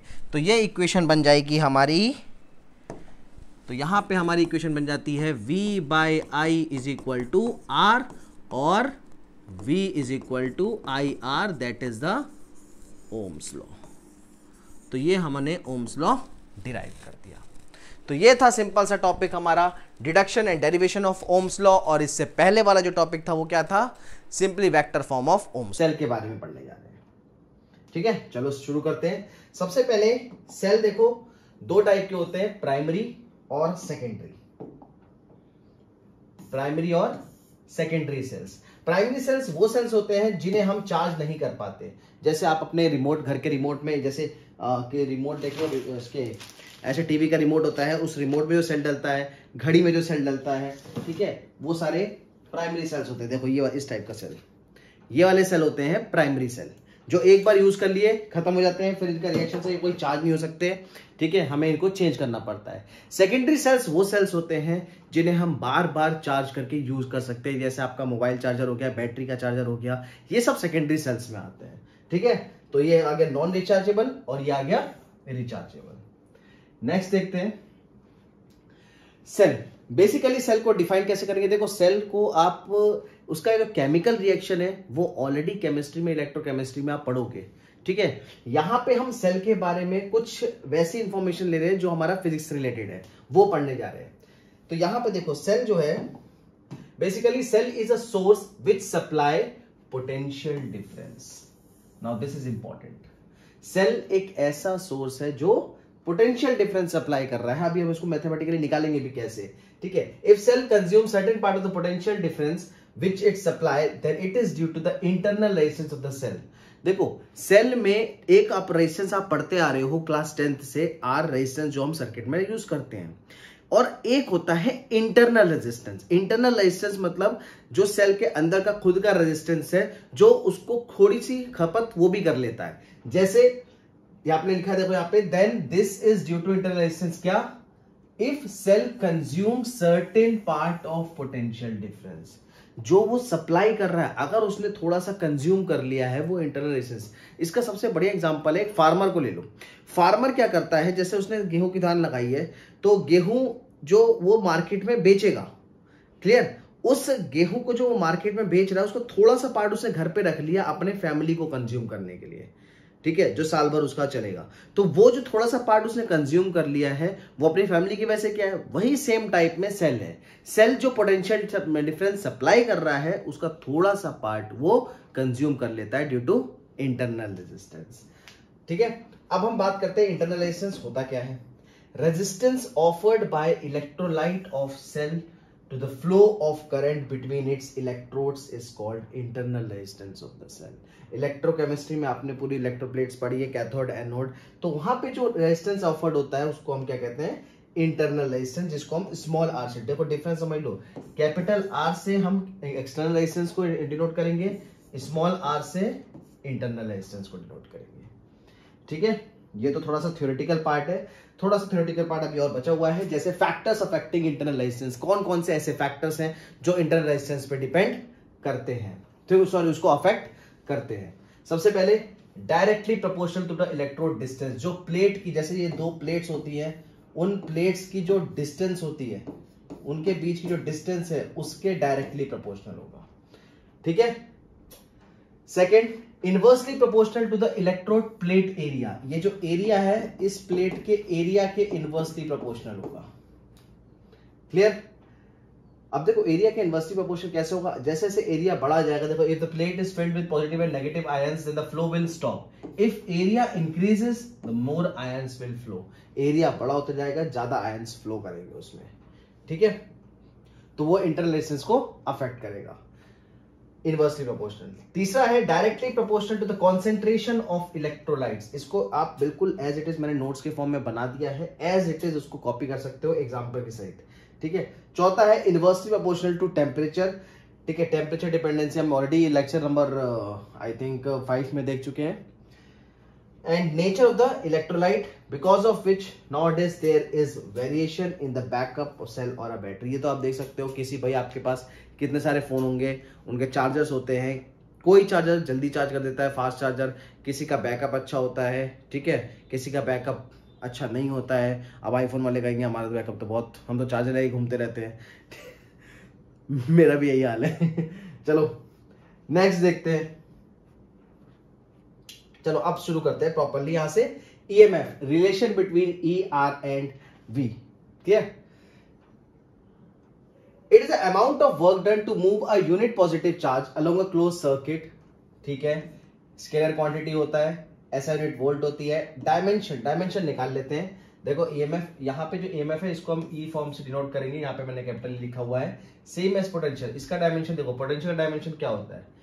V is equal to W upon Q ठीक है? तो W work done work done होता है M L square T minus two divided by Q is equal to A T Q is equal to I T होता है और आई का A ampere तो ये हो जाएगा हमारा dimension M L square T minus three A minus one ये हो गया इसका डायमेंशन अब by definition of EMF EMF होता है work done against external resistance R अच्छा फ्रॉम ए टू बी और बी टू ए जो है, ये एक सर्किट बनाना पड़ेगा. इसके लिए हम एक सर्किट बनाते हैं, जैसे मान लो, ये एक्सटर्नल रेजिस्टेंस है और ये हमारा सेल है, ये सेल का इंटरनल रेजिस्टेंस है। तो एक पॉइंट ले लेते हैं हम ए से बी तक। अब देखो ए से बी तक अलग वर्क डन होगा, क्योंकि देखो, हमेशा जो करंट फ्लो होगा, वो होगा हायर टू लोअर पॉजिटिव से नेगेटिव की तरफ़। ठीक है करंट फ्लो करेगा पॉजिटिव से नेगेटिव की तरफ़। तो एक तो हो गया work done against external resistance R this is external resistance R from A to B ठीक है? अब बी से ए तक देखो लो से हाई आने में ऑब्वियस सी बात है, कोई भी चीज़ अगर लो से हाई जा रही है, जैसे आप ये बॉटल है, इस बॉटल को मैं नीचे फेंकूँगा हाई टू लो ठीक है? हाई से लो तो आराम चली आएगी अगर मैं इसे छोड़ भी दूँगा तो भी नीचे चले जाएगा। लेकिन अगर लो से वापस हाई पे लाना है तो एक एक्सटर्नल वर्क करना पड़ेगा, जैसे मुझे वर्क करना पड़ेगा इस बॉटल को ऊपर लाने में। और फिर इसे लीव करूँगा। देखो हाई से लो तो अपने आप चला गया। फिर मुझे इसे ऊपर लाने के लिए क्या करना पड़ रहा है? एक्सटर्नल वर्क करना पड़ रहा है। ठीक है? लो से हाई तक ले जाने में। सेम हम यहाँ पे देख लेते हैं। तो work done against the external resistance को हम, जो फ्रॉम ए टू बी है, उसको वी मान, ये मान लिया। Plus work done against the internal resistance from B to A को वी डैश मान लिया। ये स्मॉल आर है, ठीक है? ये ई e है। अब यहाँ से, ये हमारा जो पार्ट है ना, ये सेल है। This is the cell part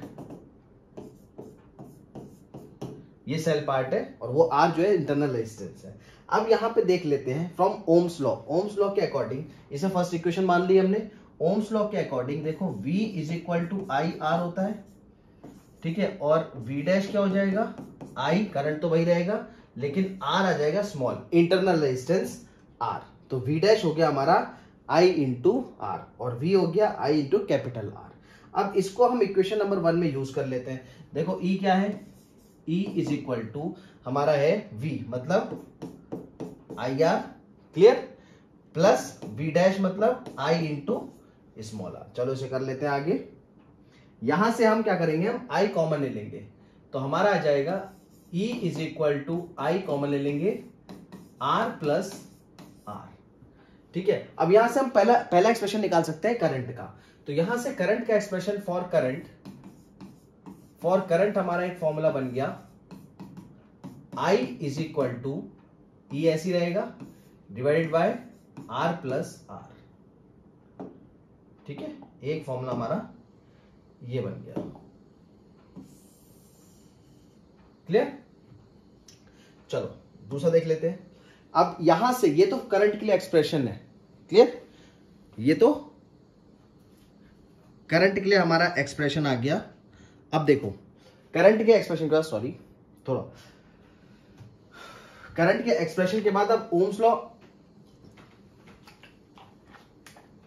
दोबारा यूज़ करेंगे और उससे देखो क्या होगा। हम यहाँ लिख सकते हैं। Also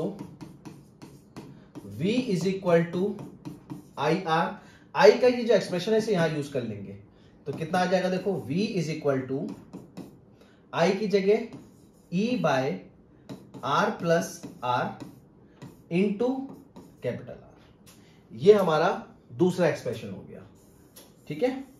पोटेंशियल का। अलग अलग फॉर्म में एस पर द नीड आपको ज़रूरत पड़ेगी सबकी फॉर्मूले की न्यूमेरिकल्स करने में, ठीक है?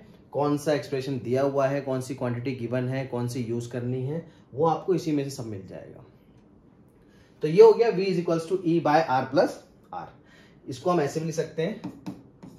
E R by R plus R एक ही बात है, उसमें कोई दिक्कत नहीं। अच्छा जो इक्वेशन नंबर वन हमने जो मानी थी, देखो इक्वेशन नंबर हमने E is equal to V plus V dash हमारी इक्वेशन नंबर वन थी। इसको वापस लिख लेते हैं।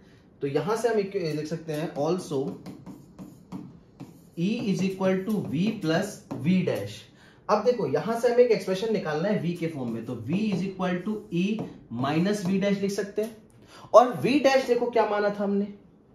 V डैश माना था I R I into small R मतलब इंटरनल रेजिस्टेंस तो इसको यूज़ कर लेते हैं। तो ये हो जाएगा और v is equal to E minus I into R ये हो गया हमारा मेन फॉर्मूला ध्यान रखना। इसको हम यूज़ करने वाले हैं। ये आप नोट कर सकते हो। पॉज करके। ठीक है? ये पूरा नोट कर लेना आप। हम आगे चलते हैं। अब हमारा नेक्स्ट टॉपिक है।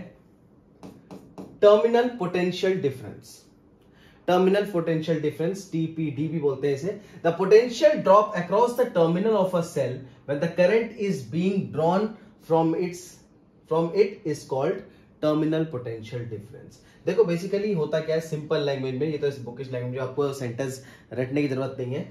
EMF minus potential difference across internal मतलब V equals to E minus I R जो हमने अभी निकाला था बेसिकली वो उसी का एक्सप्रेशन था। V is equals to E minus I R लेकिन इसमें दो फॉर्म होते हैं। या तो आप सेल को यूज़ कर रहे हो, या सेल को चार्ज कर रहे हो।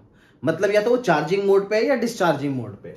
उस हिसाब से मतलब व्हेन करंट इज़ ड्रॉन जब सेल से करंट ले रहे हैं तो होगा हमारा E V is equals to E minus I R याद रखना नेगेटिव मतलब कि करंट ड्रॉ कर रहे हैं। और अगर यहाँ नेगेटिव की जगह बाई चांस पॉजिटिव लिखा हुआ है तो पॉजिटिव का मतलब कि सेल को हम चार्ज कर रहे हैं। सेल इज़ बीइंग चार्ज ठीक है? ये दो एक्सप्रेशन जो है ना, इनका ध्यान रखना।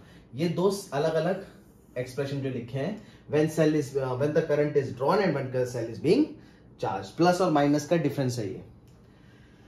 चलो, अब हम यहाँ पे एक्सप्रेशन निकालते हैं इंटरनल इसी से निकाल लेते हैं, देखो। आराम से। आई आर की तो चाहिए। V is equal to E minus I R है। यहाँ से एक्सप्रेशन r का निकाल लेता आई आर इधर ले उधर ले जाओ। तो ये हो जाएगा I R is equal to E minus V और r is equal to E minus V by I अब देखो, एक एक्सप्रेशन तो हमारा ये बन गया। ठीक है? R is equal to E minus V by I अब ओम्स लॉ से अगर i की जगह हम v बाय आर पुट कर ले, भाई v is equals to I R होता है। तो i ये क्या होगा?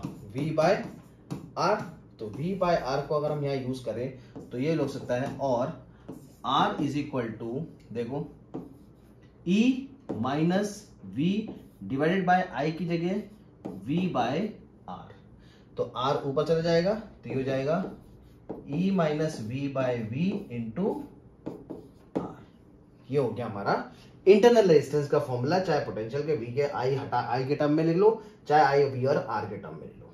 ठीक है? अब इसी से हम केस देख लेते हैं केस वन और केस टू केस है व्हेन सेल इज़ ओपन जब सेल ओपन होगा मतलब कि स्विच ऑफ़ है मतलब करंट नहीं जा रहा है। I is equals to zero उस केस में अगर इस कंडीशन में हम आई को ज़ीरो पुट कर दें तो बचेगा क्या? v is equals to E मतलब जो पोटेंशियल डिफरेंस है, वो सीधा सीधा ईएमएफ e के बराबर है।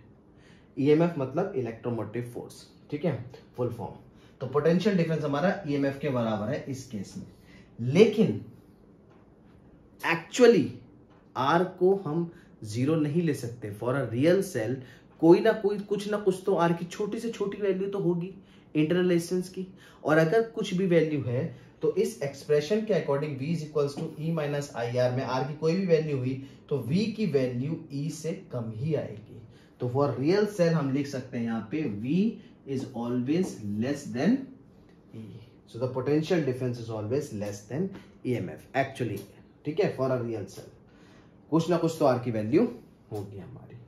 तो ये था हमारा टर्मिनल पोटेंशियल डिफरेंस अब नेक्स्ट देखते देखो। ग्राफिकली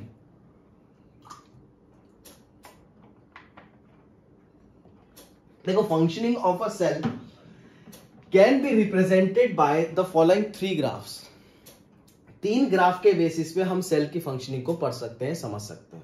बहुत आसान है, ठीक है? इसमें कुछ वैसी वाली बात नहीं है। पहला है देखो ई वर्सेस आर पहली बात तो एक्सटर्नल लेसेस पे ईएमएफ डिपेंड ही नहीं करता। तो इसका तो सीधे सीधे ईएमएफ की जो भी वैल्यू होगी, यहाँ पे हम लिख सकते हैं E is independent of R ठीक है? जो भी वैल्यू होगी आर कितनी वैल्यू बढ़ते जाए, इससे कोई फ़र्क नहीं पड़ेगा। दूसरा मेन ये पढ़ने वाला है वी वर्सेस आर ठीक है, अब आप उसमें कंफ्यूज मत होना, यहाँ पे सेल की बात हो रही है पोटेंशियल डिफरेंस और रेजिस्टेंस आप कहीं V versus I Ohm's law graph straight line मत बना देना। ठीक है वी वर्सेस आर के ग्राफ में सबसे पहले किसी भी close circuit for closed circuit अब देखो फिजिक क्लोज सर्किट में जो टर्मिनल पोटेंशियल डिफरेंस जो होता है, वो क्या हो गया? V is equals to I R I की जगह आई की जगह देखो, वही एक्सप्रेशन रखनी जो हमने पीछे निकाला है। यहाँ पे देखो, आई की जगह एक्सप्रेशन निकाला था हमने। एक और पीछे जाओगे। ये E by R plus R ठीक है? E by R plus R तो ये क्या हो जाएगा? E by R plus R into ये कैपिटल आर ठीक है? और इसी को हम लिख सकते हैं E बाय अब देखो, R को नीचे डिनोमिनेटर में डिवाइड करोगे तो R बाय आर वन हो जाएगा plus small r by capital different values पे आप देखो। डिफरेंट वैल्यूज़ यहाँ पे थोड़ा सा स्पेस कम है। मैं इसको यहाँ पे आ, ऐसे लिख देता हूँ। अब देखो। सबसे पहले वैल्यू ले लेते हैं। पहली कंडीशन पहली हम सिंपल ऐसे कंडीशन लेते हैं। आर अगर ज़ीरो हो जाए। एक्सटर्नल रेजिस्टेंस अगर ज़ीरो हो जाए तो वह हमारा वी भी ज़ीरो होगा पहला केस तो ये आ गया इस पॉइंट पे। ठीक है? दूसरा केस आर की अगर हम वैल्यू रखते हैं स्मॉल आर के बराबर external R internal resistance R के बराबर है, उस केस में अगर देखो आर की वैल्यू यहाँ पे रखोगे, ठीक है तो ये आर से आर कट जाएगा वन आ जाएगा वन प्लस वन टू तो ये हो जाएगा हमारा वी हो जाएगा ई बाय टू तो देखो, मान लेते हैं इस पॉइंट पे जो आर है that is equal to small R तो इस केस में जो भी ईएमएफ e की वैल्यू होगी, उसका हाफ़ हो जाएगा ई बाय टू तीसरा केस ले लेते हैं। यहाँ पर लिख लेता हूँ मैं, तीसरा केस।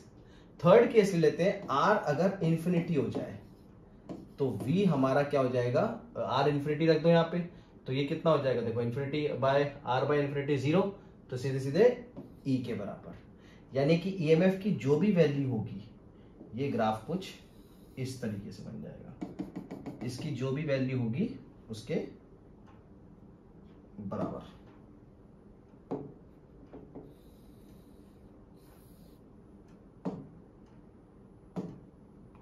ठीक है? ये ऐसे आ जाएगा ए ये। तो ये जो ई e है, ये आ गया v is equal to E ये आ गया सेकंड केस का ग्राफ तीनों कंडीशन में लिख दी है।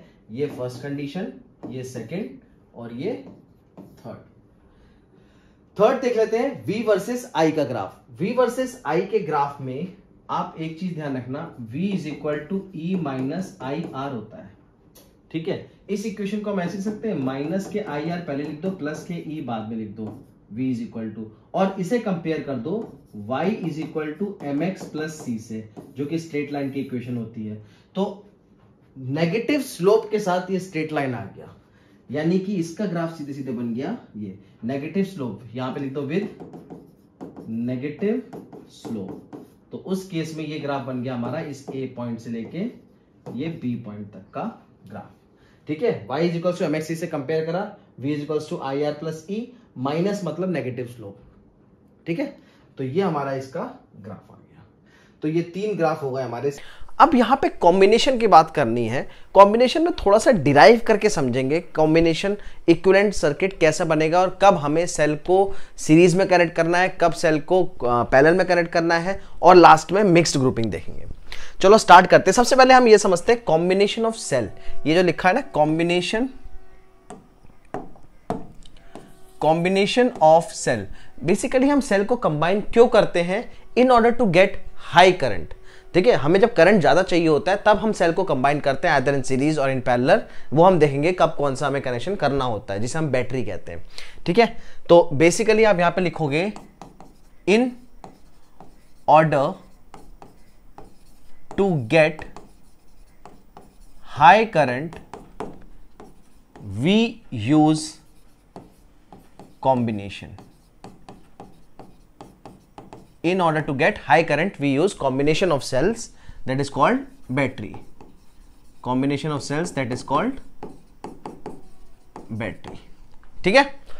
अब इसमें भी देखो, पहले हम इसको तीन पार्ट में करेंगे। पहले पार्ट में हम पढ़ेंगे सेल इन सीरीज़ जब सेल को हम सीरीज़ में लगाते हैं तो क्या होता है?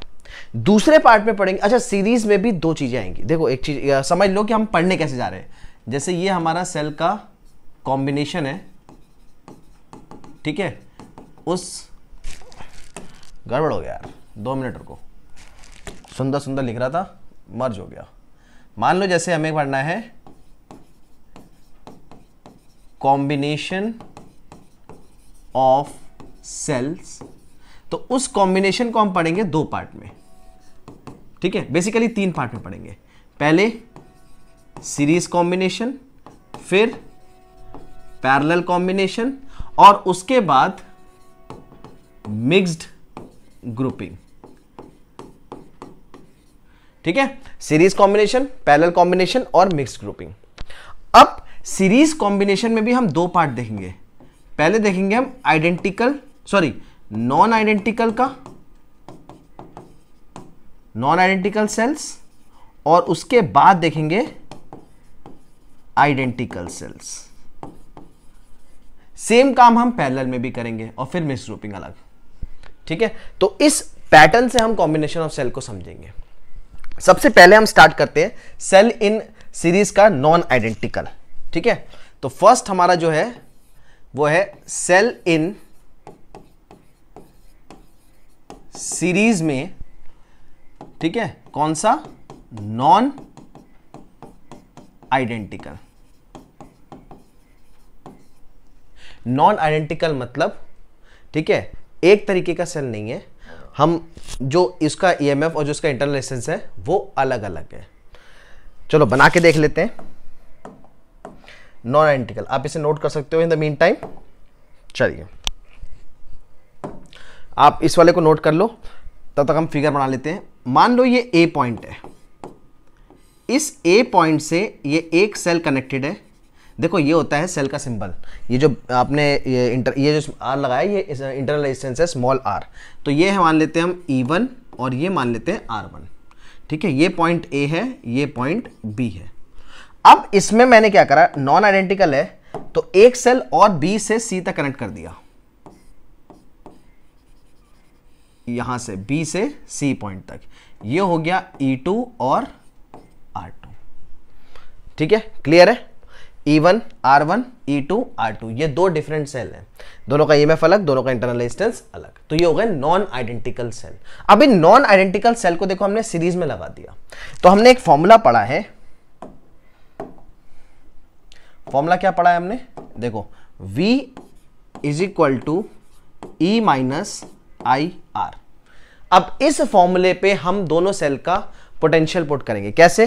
पहले हम निकालेंगे ए और बी के बीच में पोटेंशियल तो ये आ जाएगा हमारा ए और बी के बीच में हमारा देखो पोटेंशियल आ गया। V A minus V B is equal to अब देखो ए और बी के बीच में पोटेंशियल निकालेंगे। V is equal to E E कितना है? ई वन माइनस आई अब देखो करंट तो सीरीज़ में सेम रहता है तो माइनस के आई सेम रहेगा। इंटू आर आर क्या हो जाएगा हमारा? आर वन क्लियर है? इतना क्लियर है? अब यहाँ से हम क्या करेंगे? दूसरा निकालेंगे सेकेंड सेल का। मतलब potential between B and C अब बी एंड सी के बीच में देखो V B minus V C कितना निकलेगा देखो? ई एम एफ़ कितना है? E two minus current same रहेगा आई और आर वन की जगह आर टू ठीक है? दोनों को ऐड कर दो। दोनों को क्या करो? ऐड कर दो। दोनों को ऐड करेंगे तो देखो क्या बनेगा? दोनों को अगर हम यहाँ पे ऐड कर देंगे तो देखो क्या बनेगा। B प्लस का माइनस का और प्लस का कैंसिल हो गया। क्या आया? V A minus V C is equal to E one plus E two E one plus E two minus अब देखो माइनस बाहर ले लेते हैं और आई ले लेते हैं कॉमन क्योंकि आई करंट दोनों में सेम है। बचा क्या ब्रैकेट में? R one plus R two इसे मान लो इक्वेशन नंबर वन ठीक है? ये हमारा आ गया इक्वेशन नंबर वन अब देखो। तब तक आप इसे नोट कर लो यहाँ पे। आइडेंटिकल सेल का जो हम कर रहे हैं, अब राइट साइड में मैं इसका आगे एक्सप्लेनेशन करूँगा। ठीक है? आराम से समझो धीरे धीरे कोई दिक्कत नहीं है। चलिए। ये आपने नोट कर लिया होगा। अब देखो फ़र्स्ट इक्वेशन बन गई। अब हम इसका इक्विलेंट सर्किट बनाएँगे। इक्विलेंट सर्किट जब इसका सीरीज़ का इक्विलेंट सर्किट बनाएँगे तो देखो इक्विलेंट सर्किट कुछ इस तरीके का बनेगा। ये बन गया इसका इक्विलेंट सर्किट ये पॉइंट है ए इस ए पॉइंट से यहाँ तक हमने ले लिया सी पॉइंट तक.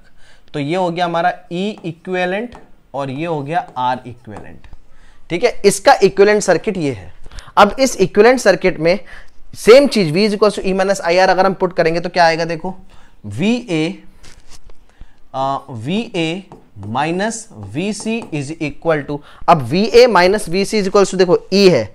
ई e की जगह ई इक्वेलेंट तो ई इक्वेलेंट माइनस करंट तो देखो सीरीज़ में सेम रहेगा आई रहेगा तो आई और आर की जगह आर इक्विलेंट इसको मान लेते हैं इक्वेशन नंबर टू अब वन और टू को कंपेयर करते हैं।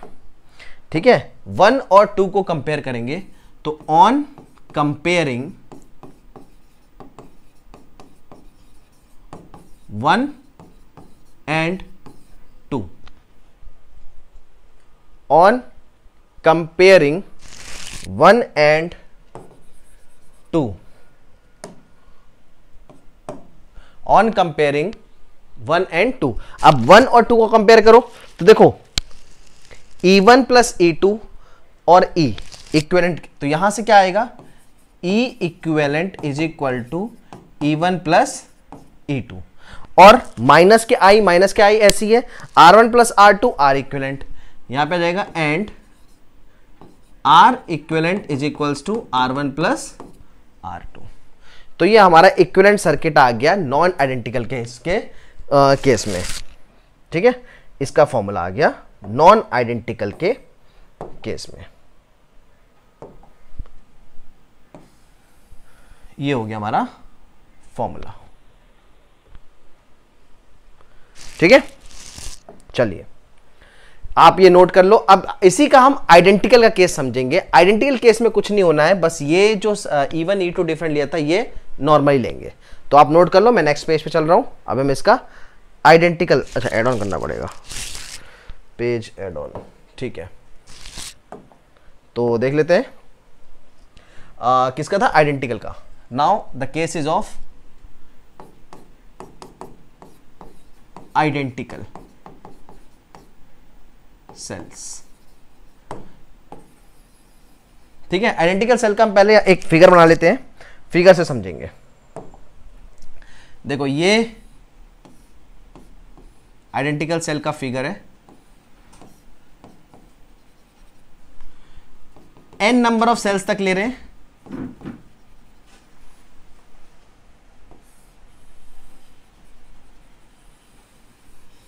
ये बन गया इसका फिगर हमने इसमें सेल कितने कनेक्ट करें? देखो ये ई e, आर ये फ़र्स्ट सेल ये ई e, आर ये सेकंड सेल ऐसे करते करते कहाँ तक जाएँगे हम? एन नंबर ऑफ़ सेल्स तक.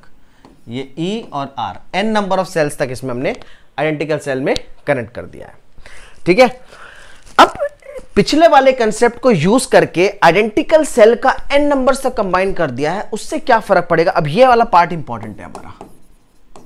ठीक है? इसी में आपको पता लगेगा कि सेल को जब चार्ज हो डिस्चार्ज हो तो सीरीज़ में कनेक्ट करना चाहिए या नहीं करना चाहिए। ये बहुत जनरल बात भी है। ठीक है? हम नॉर्मली जैसे सेल को यूज़ करते हैं तो उसका कॉम्बिनेशन सीरीज़ होना चाहिए या पैनल होना चाहिए। इसका मैथमेटिकली आपको यहाँ पे समझ में आएगा कि सेल को हमें कैसे कनेक्ट करना चाहिए। ठीक है? चलो, इस पर आते हैं। सबसे पहले इसका इक्विलेंट इक्विलेंट का देखो फॉर्मूला हम ऑलरेडी निकाल चुके हैं। E one plus E two and R one plus R two अब अगर इसका हमारा एन टाइम्स में आएगा तो हम इसी से लिख देंगे। E equivalent is equal to E one plus E two plus इस सर्किट के लिए ई e एन या फिर इसको लिख सकते हैं एन टाइम्स लिख सकते हैं। एन टाइम्स लिखेंगे तो ये क्या आ जाएगा? N into E N times उस ई e का। अब सिमिलरली अगर मुझे यहाँ से आर इक्वेलेंट निकालना है तो R one plus R two plus कहाँ तक? एन टाइम्स तो ये हो जाएगा एन इंटू आर ठीक है? अब इसी सर्किट का इक्विलेंट सर्किट बना लेते हैं। इक्विलेंट सर्किट अभी बनाया था हमने। तो इक्विलेंट सर्किट कैसे बना था हमारा? ये इस तरीके से।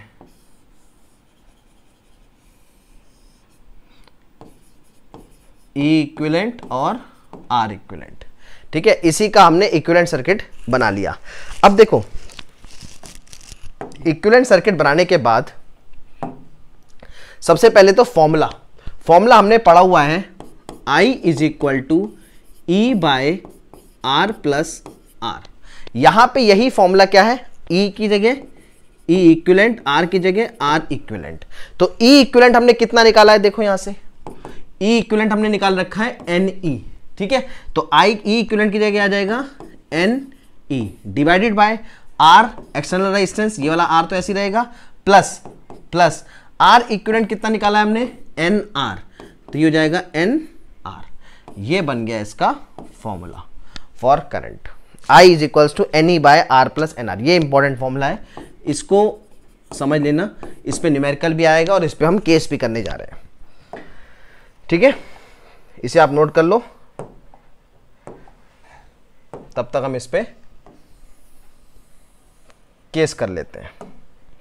ठीक है? हमारा case number one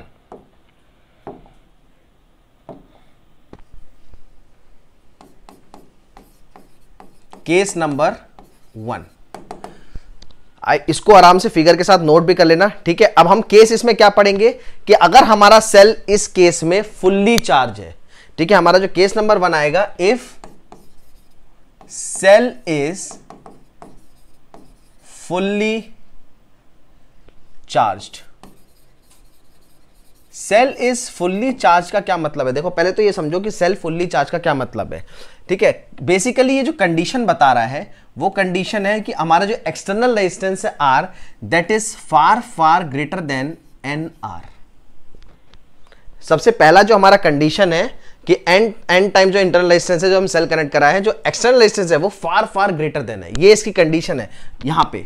जो फुल्ली चार्ज लिखा है ना, ये फुल्ली चार्ज ये बेसिकली हमें ये कंडीशन यूज़ करनी है। R is far far greater than N R अब देखो, ये फॉर्मूला का यहाँ पे लिखा हुआ है ये चीज़। आर प्लस एन आर अगर R is far far greater than N R है तो ये कंडीशन क्या हो जाएगी? इसे लिख लेते हैं हम।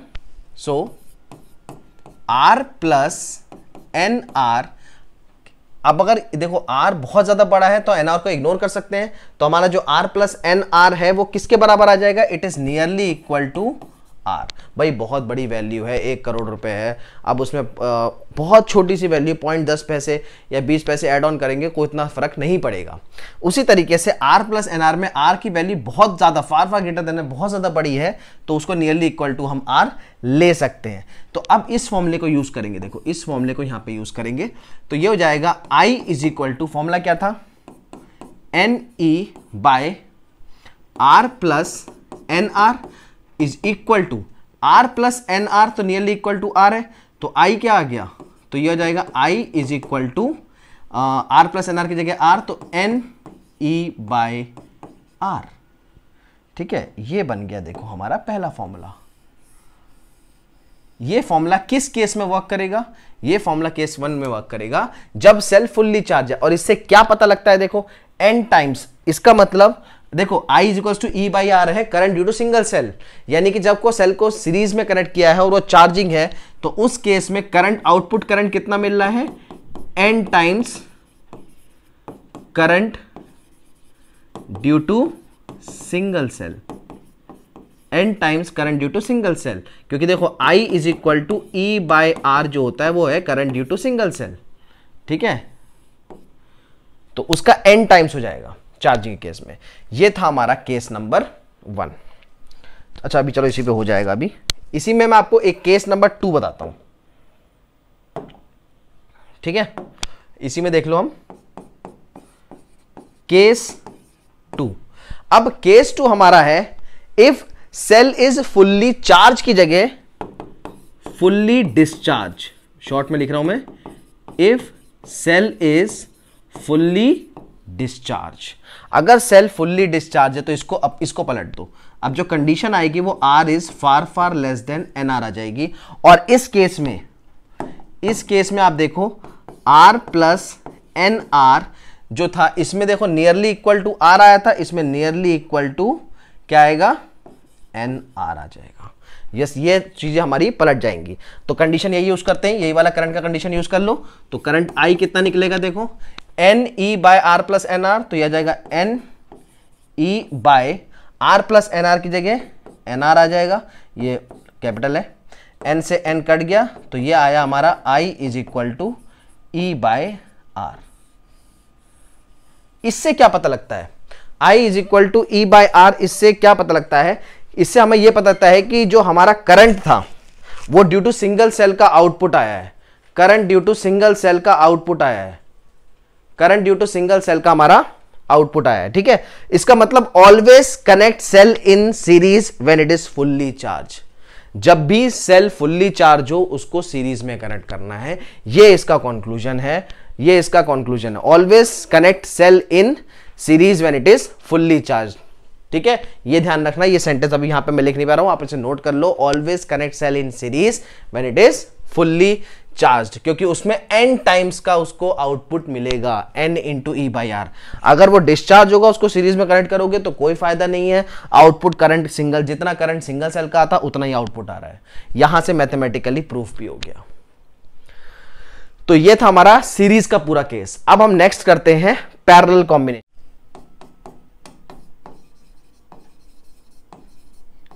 parallel combination of cells.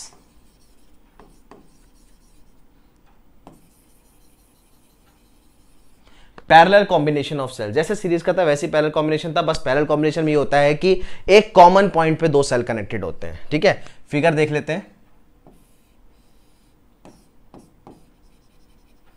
मान लो ये ए पॉइंट है और ये बी पॉइंट है। अब इसी ए और बी के बीच में क्या होगा?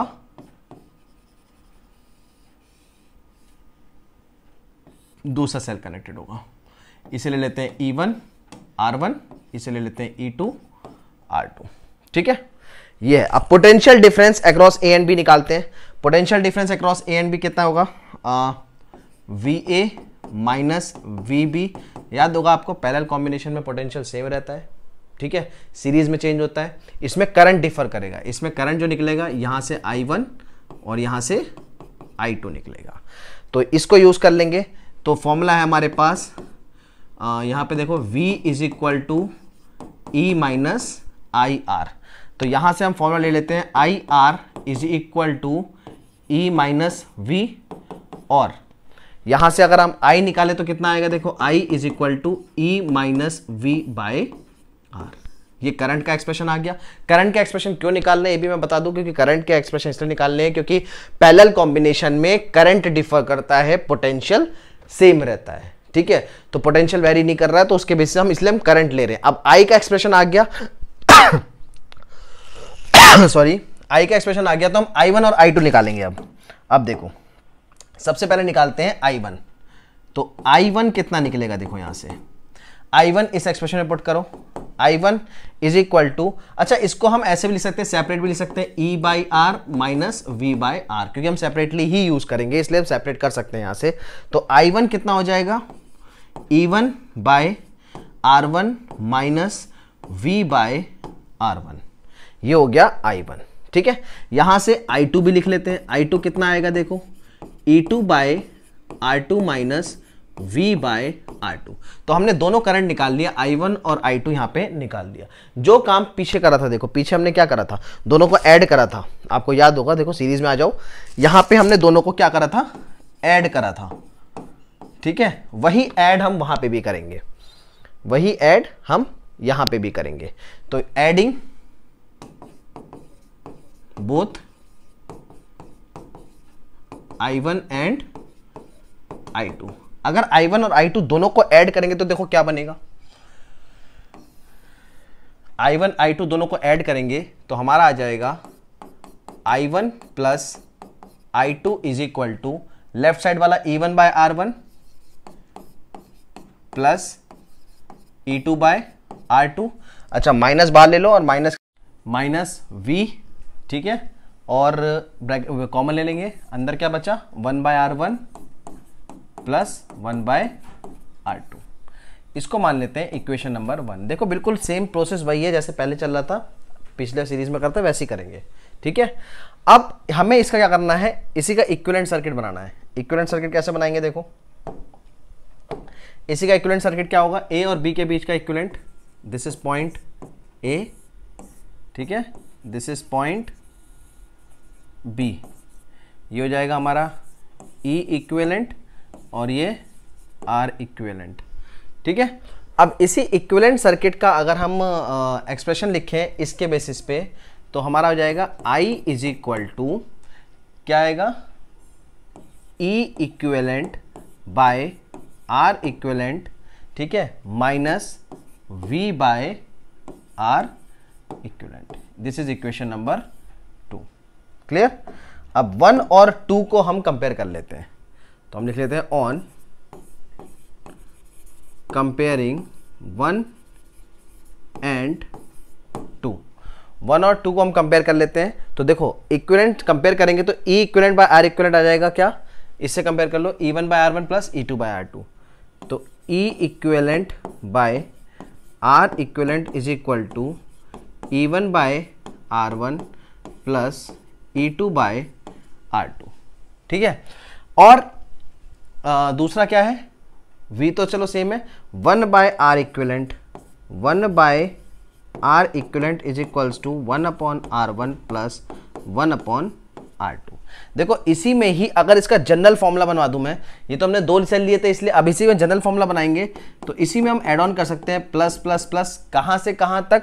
देखो E N by R N तक। इसी में जनरल एक्सप्रेशन बन जाएगा। और प्लस ये कहाँ तक हो जाएगा? Plus one by R N तक। तो ये हमारा क्या हो गया? ये हो गया हमारा जनरल एक्सप्रेशन ठीक है? इसे हम जनरल एक्सप्रेशन बना लेते हैं। तो ये हो गया हमारा दोनों जनरल एक्सप्रेशन यहाँ हम लिख सकते हैं इन जनरल ठीक है? इन जनरल मैंने उसी में बना दिया वैसे अलग से लिखता बट इसे बना दिया। तो ये हमारा इक्वेशन हो गया जनरल एक्सप्रेशन का इक्विवेलेंट का न, किस केस में? नॉन आइडेंटिकल के केस में। अब पेज एंड ऑन कर लेते हैं। अब हम करेंगे आइडेंटिकल का केस ठीक है? आइडेंटिकल का केस तो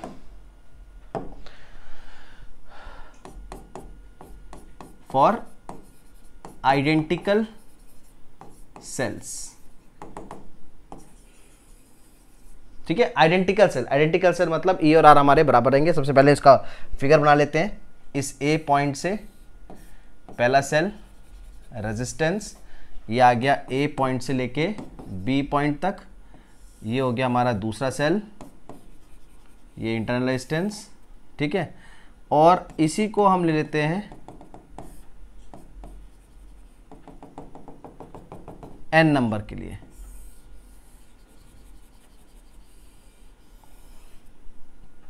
E R E R E R ठीक है? ये फ़र्स्ट सेल ये सेकंड सेल ये एन नंबर ऑफ़ सेल ठीक है? यही सर्किट है और ये हमारा कैपिटल आर अब इक्विवेलेंट का जो हमने फॉर्मूला पढ़ा है, उसको अगर हम इस सर्किट में अप्लाई करें आइडेंटिकल सेल में तो देखो क्या निकल के आता है। One by R equivalent is equal to simple one by R plus one by R plus dot dot dot plus one by R. कितने टाइम तक? एन टाइम्स तक? तो ये जा हो जाएगा, सीधे सीधे हो जाएगा एन बाय आर देखो, ये फॉर्मूले का एक्सप्रेशन मैं यहाँ से यूज़ कर रहा हूँ। ये वाला जो हमने निकाला है इक्विवेलेंट सर्किट के दोनों फॉर्मूले हम यहाँ पे यूज़ कर रहे हैं। ठीक है? अब वन बाय आर इक्विवेलेंट ये बन गया एन बाय आर दूसरा फॉर्मूला यहीं से हम निकाल लेते हैं, दूसरा इक्विवेलेंट का E equivalent by R equivalent देखो, ये क्या बनेगा? E by R plus E by R plus E by R कहाँ तक? एन ई बाय आर तक। ठीक है? अब हम यहाँ से हम एक काम और कर सकते हैं। यहाँ से हम ई e इक्विलेंट को ये भी लिख सकते हैं। E equivalent is equal to N E by R into R equivalent यहाँ पे आ गया। ठीक है, ये वाला आर इक्विलेंट राइट साइड में भेज दिया। ये आ गया। अब आर इक्विलेंट का देखो, ऊपर से एक्सप्रेशन क्या आएगा? यहाँ से इस वाले पार्ट से अगर हम आर इक्विलेंट निकालना चाहें तो आर इक्विलेंट कितना आएगा? One upon R equivalent N by R है। तो आर इक्विलेंट ऊपर कर दो, क्या आ जाएगा? आर बाई एन देखो, इसको यूज़ करेंगे। इसको यूज़ करेंगे हम, ठीक है? कहाँ पे? यहाँ पे। R equivalent R by N को यहाँ यूज़ करेंगे। तो देखो, ये एक्सप्रेशन क्या बनेगा? यहाँ से हो जाएगा ये E equivalent is equal to N E by R N E by R into R equivalent की जगह आर बाई एन एन से एन कट गया आर से आर कट गया. कितना आ गया? ई e के बराबर. यानी कि पैरेलल कॉम्बिनेशन में देखो पोटेंशियल वैसे भी चेंज होता है. यहाँ पे ईएमएफ भी चेंज नहीं हो रहा. है इक्वलेंट ईएमएफ ईएमएफ के बराबर ही है आइडेंटिकल सेल में. एक चीज़ तो यहाँ से क्लियर हो गई. ठीक है? अब इसका इक्वलेंट सर्किट भी बना लेते हैं. चलो. इसका इक्वलेंट सर्किट कैसा बनेगा? कुछ इस तरीके से बनेगा।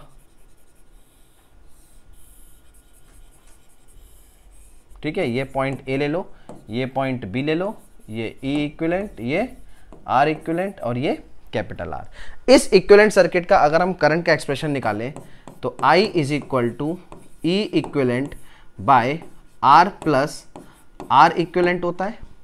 ठीक है, यहाँ पे पुट कर देते हैं। ई e इक्विलेंट किसके बराबर आया है? ई e के बराबर आया है। डिवाइडेड बाय आर ऐसी रहेगा प्लस आर इक्विलेंट का फॉर्मूला क्या है?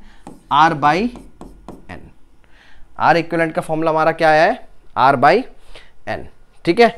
यहाँ से अगर हम इसका एल्सियम लेंगे तो इसको हम ऐसे भी ले सकते हैं। एल्सियम लेंगे एन यहाँ मल्टीप्लाई हो जाएगा डिनोमीटर के डिनोमीटर वाला एन ऊपर आ जाएगा तो N E by N R plus R ये हमारा करंट का एक्सप्रेशन हो गया। ठीक है? अब इस करंट से हम केस करेंगे अपना। जैसे पिछले वाले केस किया था, वैसे यहाँ पे भी केस करेंगे। Case one. इसको मैं शॉर्ट में लिख रहा हूँ। केस वन हमारा डिस्चार्जिंग का होगा, केस टू हमारा चार्जिंग का होगा। तो पहला केस है हमारा डिस्चार्ज का।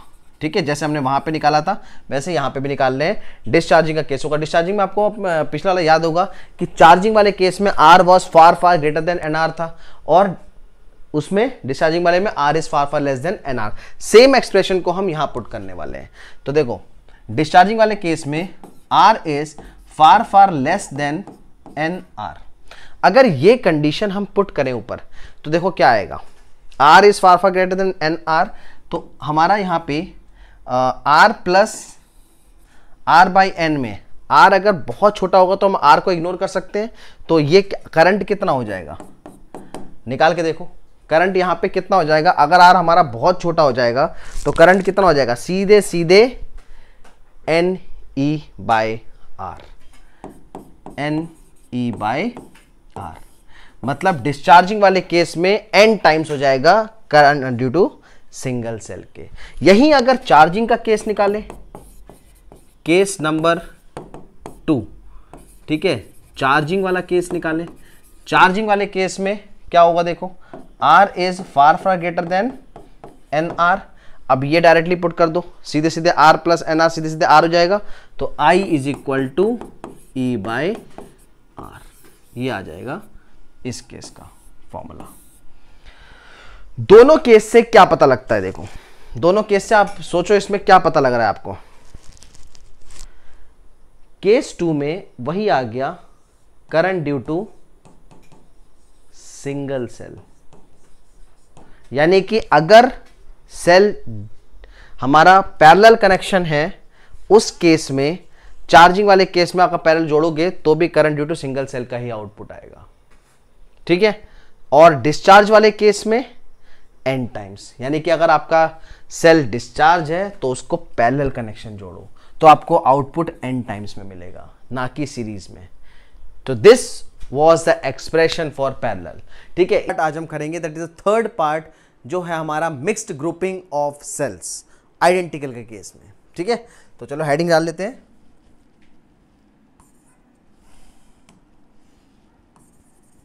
Mixed grouping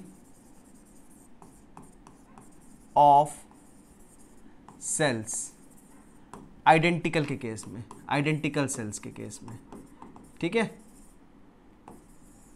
mixed grouping of sales सबसे पहले इसका हम फिगर देखते हैं। देखो मिक्स्ड ग्रुपिंग का मतलब सीरीज़ और पैरेलल कॉम्बिनेशन साथ में। ठीक है? सीरीज़ और पैरेलल कॉम्बिनेशन को अब साथ में करेंगे हम। तो सीरीज़ और पैरेलल को साथ में फिगर से समझो पहले कि मान लो ये ए पॉइंट है। इस ए पॉइंट से ये एक सेल लगाया हमने। ये दूसरा सेल लगाया। ऐसे करते करते हमने ये बी पॉइंट तक एन नंबर ऑफ़ सेल्स लगा दिया। अब एन नंबर नहीं ले रहे, हम इसमें दूसरा लेंगे कुछ। अभी बताता हूँ क्या लेंगे। ठीक है, दूसरा ले लेते हैं सेल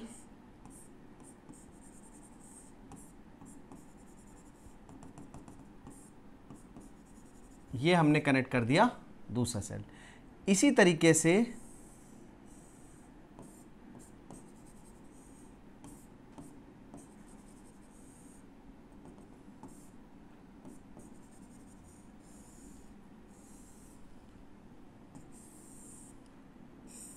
ये हो गया हमारा एक्सटर्नल रेजिस्टेंस से कनेक्ट दिस इज़ आर अब देखो नेमिंग इसमें एक फ़र्स्ट रो देखोगे तो इसमें सीरीज़ में लगे हैं एन नंबर्स तक और पैरेलल भी ये कहाँ तक है? एन नंबर्स तक. तो हम एन ना लेके सीरीज़ को एस से डिनोट कर रहे हैं पैरेलल को पी से डिनोट कर रहे हैं. तो इस हिसाब से ये देखो, ये हो गया फ़र्स्ट सेल ये हो गया सेकंड सेल ऐसे करते करते ये हो गया एस नंबर सॉरी सीरीज़ का है तो एस नंबर ऑफ़ सेल ठीक है? और ये हो गया हमारा सेकेंड सेल ऐसे करते करते पी नंबर ऑफ़ सेल्स मतलब एस नंबर है N times of series P number है एन टाइम्स ऑफ़ पैरेलल तो वहाँ एन यूज़ कर रहे हैं हम सीरीज़ के लिए एस और पैरेलल के लिए पी यूज़ कर रहे हैं अब ये हो गई मिक्स ग्रुपिंग का फिगर ये एक्सटर्नल रेजिस्टेंस आर है. आइडेंटिकल है तो ये सब क्या होंगे? E R E R E R इसी तरीके से सारे होंगे E R E R E R E small R R R ये इनकी नेमिंग्स भी हो गई। क्लियर अब अगर यहाँ पे हमें लिखना है टोटल नंबर ऑफ़ सेल्स तो देखो टोटल नंबर ऑफ़ सेल्स तो टोटल नंबर ऑफ़ सेल को ले लेते हैं हम N that is equal to S into P जितना सीरीज़ का नंबर है इंटू पी तो S इंटू पी हो गया हमारा टोटल नंबर ऑफ़ सेल ठीक है? अब हमें इसमें क्या करना है? पहली रो का इक्वलेंट निकालेंगे। अब देखो, बिल्कुल सीरीज़ सीक्वेंस वाइज करेंगे। अभी फ़र्स्ट रो में एस नंबर तक है मतलब कई सारे सेल है, उसका इक्वलेंट एक निकालेंगे, सिर्फ़ पहली रो का। फ़र्स्ट रो फ़र्स्ट लाइन का देखो। तो फ़र्स्ट लाइन का इक्वलेंट कैसे लिखेंगे आप देखो? For first row first row का इक्विलेंट देखो क्या निकलेगा। सीरीज़ में तो सीधे सीधे लिख लेते हैं R equivalent R equivalent is equals to R plus R plus dot dot dot plus कहाँ तक? आर होगा कहाँ तक? एस टाइम्स तक। एस टाइम्स तक। तो इसे हम क्या लिख सकते हैं? एस आर ठीक है? हमारा जो आर इक्विलेंट है वो किसके बराबर आ गया? एस आर के बराबर। चलो ई e इक्विलेंट निकाल लेते हैं सी ई e इक्विलेंट ठीक है? Is equal to E plus E plus dot dot dot plus E कहाँ तक? एस टाइम तक। एस टाइम्स तक। तो ये क्या हो जाएगा? एस इंटू ई तो फ़र्स्ट रो के लिए आर इक्विलेंट और ई इक्विलेंट हो गया। अब ये जो फ़र्स्ट रो के लिए हुआ है, इसका इक्विलेंट सर्किट बनाते हैं। So it's equivalent circuit is अब इस सर्किट का इक्विवेलेंट सर्किट देखो कैसे बनेगा। This is point A point A से ले जाओ। ये पहली रो का इक्विवेलेंट सर्किट हो गया। फ़र्स्ट रो का इक्विवेलेंट सर्किट मतलब ये इसका इक्विवेलेंट सर्किट हो गया, देखो। फ़र्स्ट रो का। इन सब का इक्विवेलेंट सीधे सीधे क्या बन जाएगा, देखो? एस ई और एस आर तो ये हो जाएगा एस ई ये हो जाएगा एस आर ठीक है? इसी तरीके से सेकेंड रो का इक्विलेंट सर्किट क्या आएगा देखो?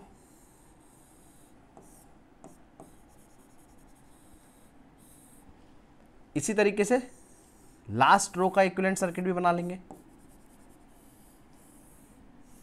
ये कनेक्ट हो गया हमारा एक्सटर्नल रेजिस्टेंस से। दैट इज़ आर तो एस ई ये भी एस ई एस आर ये भी एस ई एस आर अब सिंपल अब देखो ये सर्किट क्या हो गया? थोड़ा सा सिंप्लीफाई हो गया. अब ये मिक्स था. मिक्स से अब ये सीरीज़ वाला हमने सॉल्व कर लिया. अब बचा ये पैरेलल वाला कॉम्बिनेशन अब हम इस पैरेलल वाले कॉम्बिनेशन को करेंगे.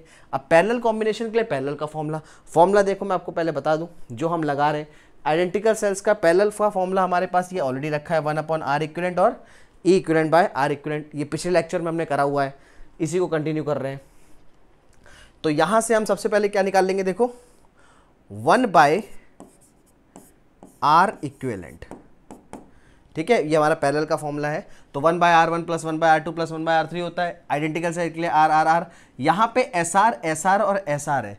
तो सीधे सीधे हो जाएगा one by S R plus one by S R plus dot dot dot plus one by S R कितने टाइम्स तक? देखो पी टाइम्स तक था हमारा।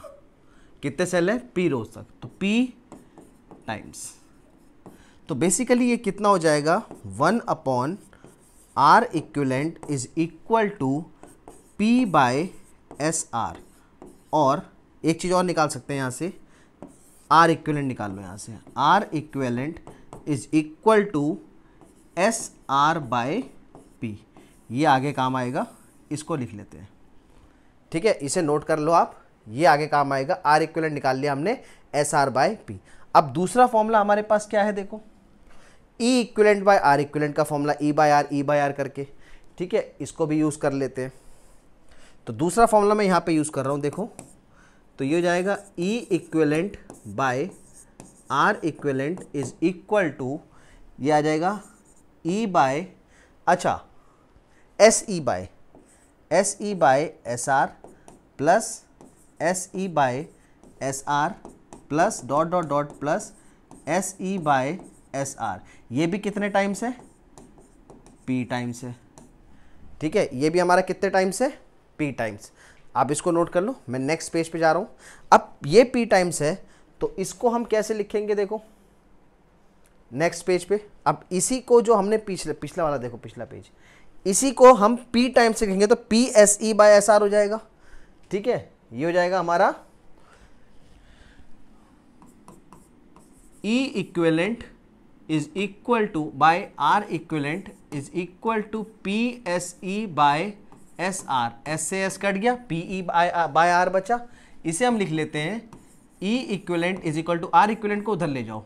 तो ये जाएगा P E by R into R equivalent अब देखो आर इक्वलेंट की वैल्यू हमने क्या निकाली है? एस आर बाई पी इसको हम पुट करेंगे यहाँ पे। ये आर इक्वलेंट जो यहाँ पे आ रहा है, यहाँ पे पुट करेंगे। तो ये हो जाएगा एस आर बाय पी अब देखो आर से आर कैंसिल पी से पी कैंसिल और आर से आर कैंसिल देखो क्या बचा। तो हमारे पास आ गया E equivalent is equal to S into ये आ गया ई इक्वलेंट की वैल्यू अब आर इक्वलेंट और ई इक्वलेंट दोनों हमारे पास आ गया. अब हम क्या करेंगे? इस सर्किट को भी और सिंप्लीफाई करेंगे. इस वाले सर्किट को और सिंप्लीफाई करेंगे. तो इनका तीनों का ये पैरेलल में जो है, तीन क्या सॉरी पी टाइम्स इसका इक्विलेंट सर्किट बनाएँगे. तो इसका इक्विलेंट सर्किट कैसे बनेगा? नाउ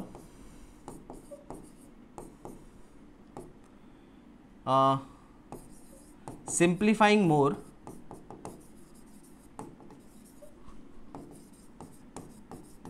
तो अब और सर्किट कैसा बनेगा देखो। कंप्लीट इक्विलेंट सर्किट बन गया ये। This is external circuit this is point A this is point B ठीक है? ये हो गया हमारा ई e इक्विलेंट और ये हो गया आर इक्विलेंट और ये हो गया हमारा एक्सटर्नल रेजिस्टेंस आर अब इस सर्किट का करंट अब देखो करंट का एक्सप्रेशन आपको याद होगा नॉर्मल आपको मैंने ट्रिक बताई थी I is equals to V by R होता है। यहाँ पे सेल के केस में I is equals to V की जगह ई बाय आर की जगह आर प्लस स्मॉल आर ये सिंपल ट्रिक है, वैसे हमने सेल में निकाल रखा है इसको। बस याद रखने के लिए है कि वी की जगह हमारा ई आ जाएगा और आर के साथ इंटरनल रेजिस्टेंस भी जुड़ जाएगा। तो इस वाले फॉर्मूले को यहाँ रखते हैं। करंट ये हो जाएगा आई तो अब आई का एक्सप्रेशन रखना है। तो आई का फॉर्मूला है हमारे पास I is equal to E की जगह देखो, आएगा ई इक्विलेंट तो E equivalent divided by R plus R equivalent R plus R equivalent अब ये आ गया हमारे पास, ठीक है? क्लियर है आपको? सबको? ठीक है। तो आर प्लस आर इक्विलेंट शायद ऊपर का टॉप थोड़ा सा मैं सही से विजिबल करा देता हूँ। ये हाँ।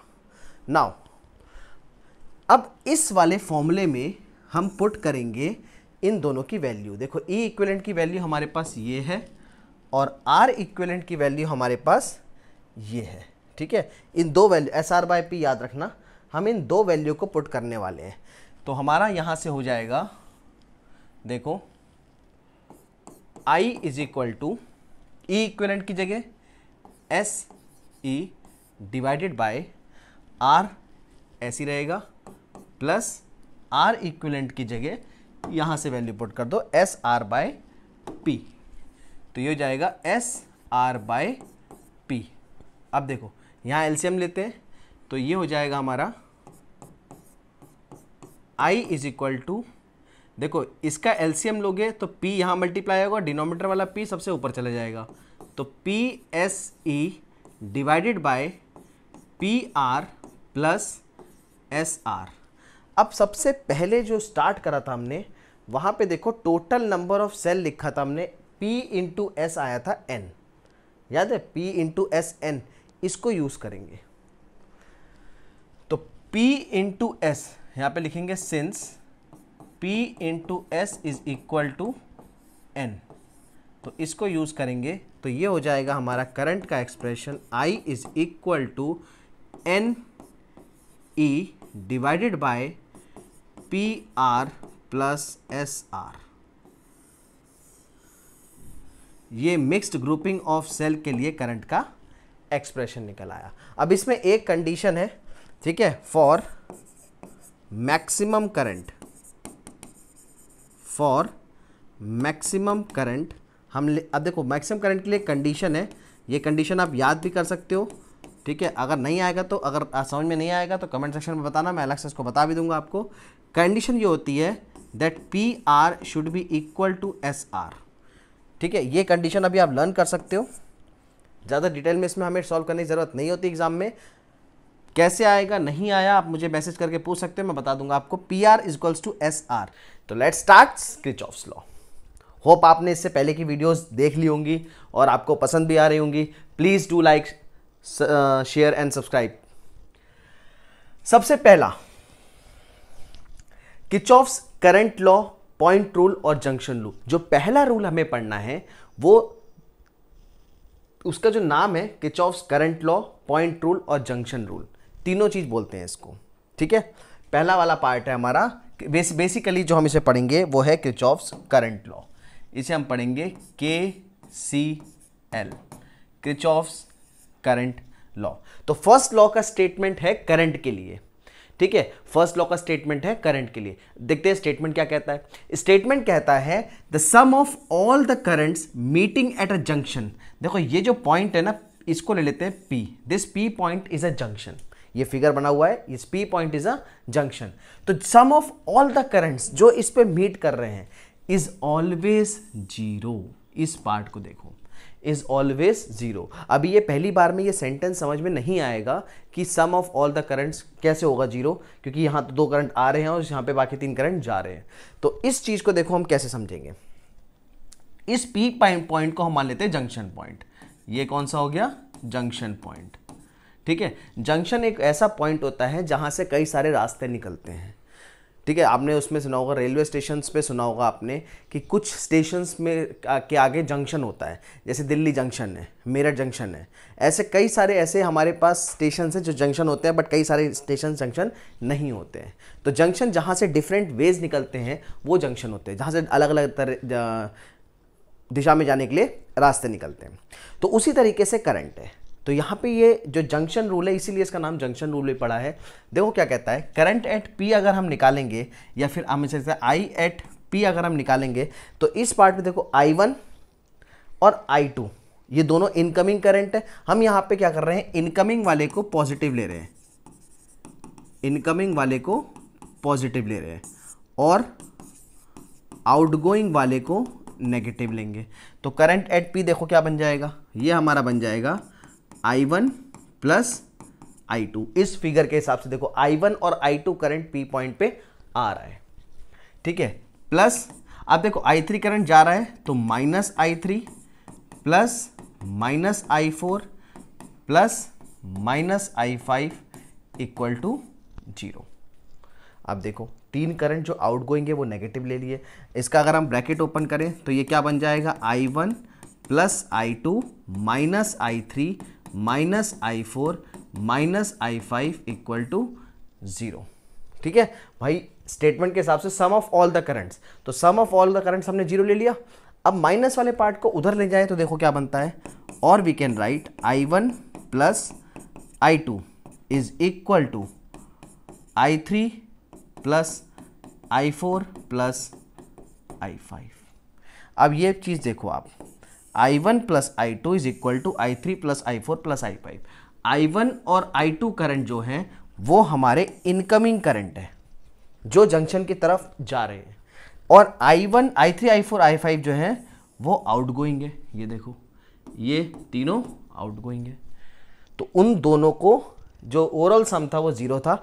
ओवरऑल सम ज़ीरो लिखने का हमारा मतलब है sigma I is equal to zero ठीक है? मैथमेटिकली इस स्टेटमेंट को कैसे लिखोगे? Mathematically sigma is equal to zero और ये हो गया उसका proof total incoming current is equal to total outgoing current ये कहता है हमारा Kirchhoff's current law point rule और जंक्शन रूल होप आपको ये पार्ट क्लियर हो गया होगा. पहला वाला बहुत आसान है. करंट रूल करंट रूल को हम यूज़ करते हैं एक इक्वेशन बनाने में. आगे आपको न्यूमेरिकल्स में दिखेगा. सेकंड इसी करंट रूल में सबसे इंपॉर्टेंट बात जो हमारे एग्ज़ाम्स में आता है स्पेशली ठीक है? आप ये देखो, ये वाला याद रखना I one plus I two equals to I three plus I four plus I five इसी को यूज़ करेंगे हम। तो यहाँ पे हम लिख लेते हैं I one plus I two is equal to I three plus I four plus I five ठीक है? अब इस करंट में हम देखो I is equals to formula होता है हमारे पास। आपने फॉर्मूला पढ़ा होगा I is equal to Q by T या Q is equal to I से आपको याद आ सकता है। ठीक है, इस फॉर्मूले को यहाँ पे यूज़ करेंगे। तो देखो, इसे हम लिख सकते हैं।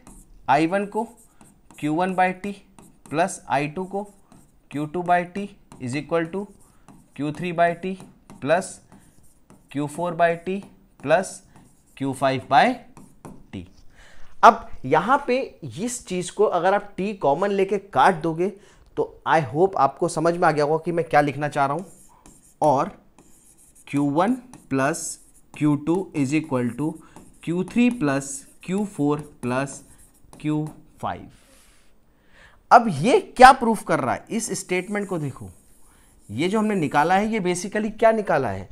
According to the law of conservation of charge it can neither be created nor be destroyed only it can be transferred और यहाँ पे ये वही चीज़ प्रूफ हो रहा है। अब देखो, यहाँ पे ये यही चीज़ प्रूफ हो रहा है कि जितना हमारा इनकमिंग चार्ज था जितना हमारा इनकमिंग चार्ज था दैट इज़ इक्वल टू किसके? आउटगोइंग चार्ज के।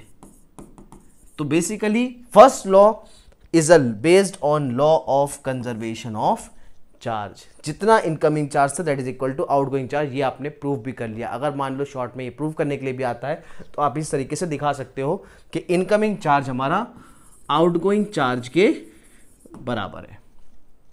तो ये हमारा प्रूफ हो गया। First law is based on the law of conservation of charge ये आपको याद रखना है कि किचॉस का फ़र्स्ट लॉ किस लॉ पे बेस्ड है। अब बात करते हैं सेकंड सेकंड लॉ की। किरचॉफ्स वोल्टेज लॉ जिसे हम बोलते हैं K V L Kirchhoff's voltage law K V L statement देख लेते हैं। The sum of the potential difference in a closed mesh or loop is always zero. Mathematically क्या लिखेंगे? Sigma del V is equals to zero ठीक है? अब पहले तो आपको लूप बताना पड़ेगा। एक सर्किट ले लेते हैं सिंपल ठीक है? फिगर बना लेता हूँ मैं आपके लिए। आ, फिगर देख लो। ये हो गया हमारा फिगर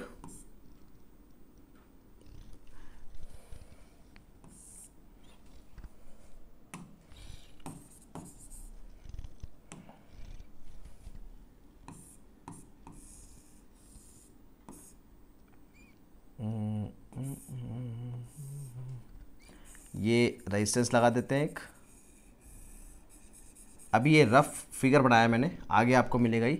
हम ये क्लोज्ड ये क्लोज्ड मैच ले लेते हैं। ए बी ठीक है सी डी ए इसी दो मैच की बात करें देखो in close mesh A B C D A और ए डी सी बी ए दोनों तरफ़ से कैसे ही पढ़ सकते हैं? इट डजेंट मैटर अब इसी मैच में हमारा ये हो जाएगा ई e वन ये हो जाएगा सेकेंड ई टू ठीक है? यहाँ से ले लेते हैं हम आई वन इधर ले लेते हैं आई टू वो तो कुछ भी ले लो। अभी फ़िलहाल के लिए ये कोई वैसा क्वेश्चन नहीं है। दिस इज़ आई वन ये हमारा हो गया आर वन और इसे ले लेते हैं आर टू ठीक है, ये मान लेते हैं जस्ट इमेजिन करो जस्ट हमने अपने तरफ़ से कंसिडर किया ये लूप ये ए बी सी डी ए एक क्लोज लूप है क्लोज मैश है। ठीक है, अब इसमें हम क्या करेंगे? क्रिचॉफ्स वोल्टेज लॉ अप्लाई करेंगे। वोल्टेज लॉ बेसिकली क्या क्या रहा है? The sum of potential difference the sum of potential difference in the close mesh और लूप इज़ ऑलवेज ज़ीरो पिछले वाले में क्रिचॉफ्स करंट लॉ ने क्या कहा था? The sum of the total current at the junction point is zero total चाहे वो इनकमिंग हो, चाहे वो आउटगोइंग हो, उसका सम क्या होगा?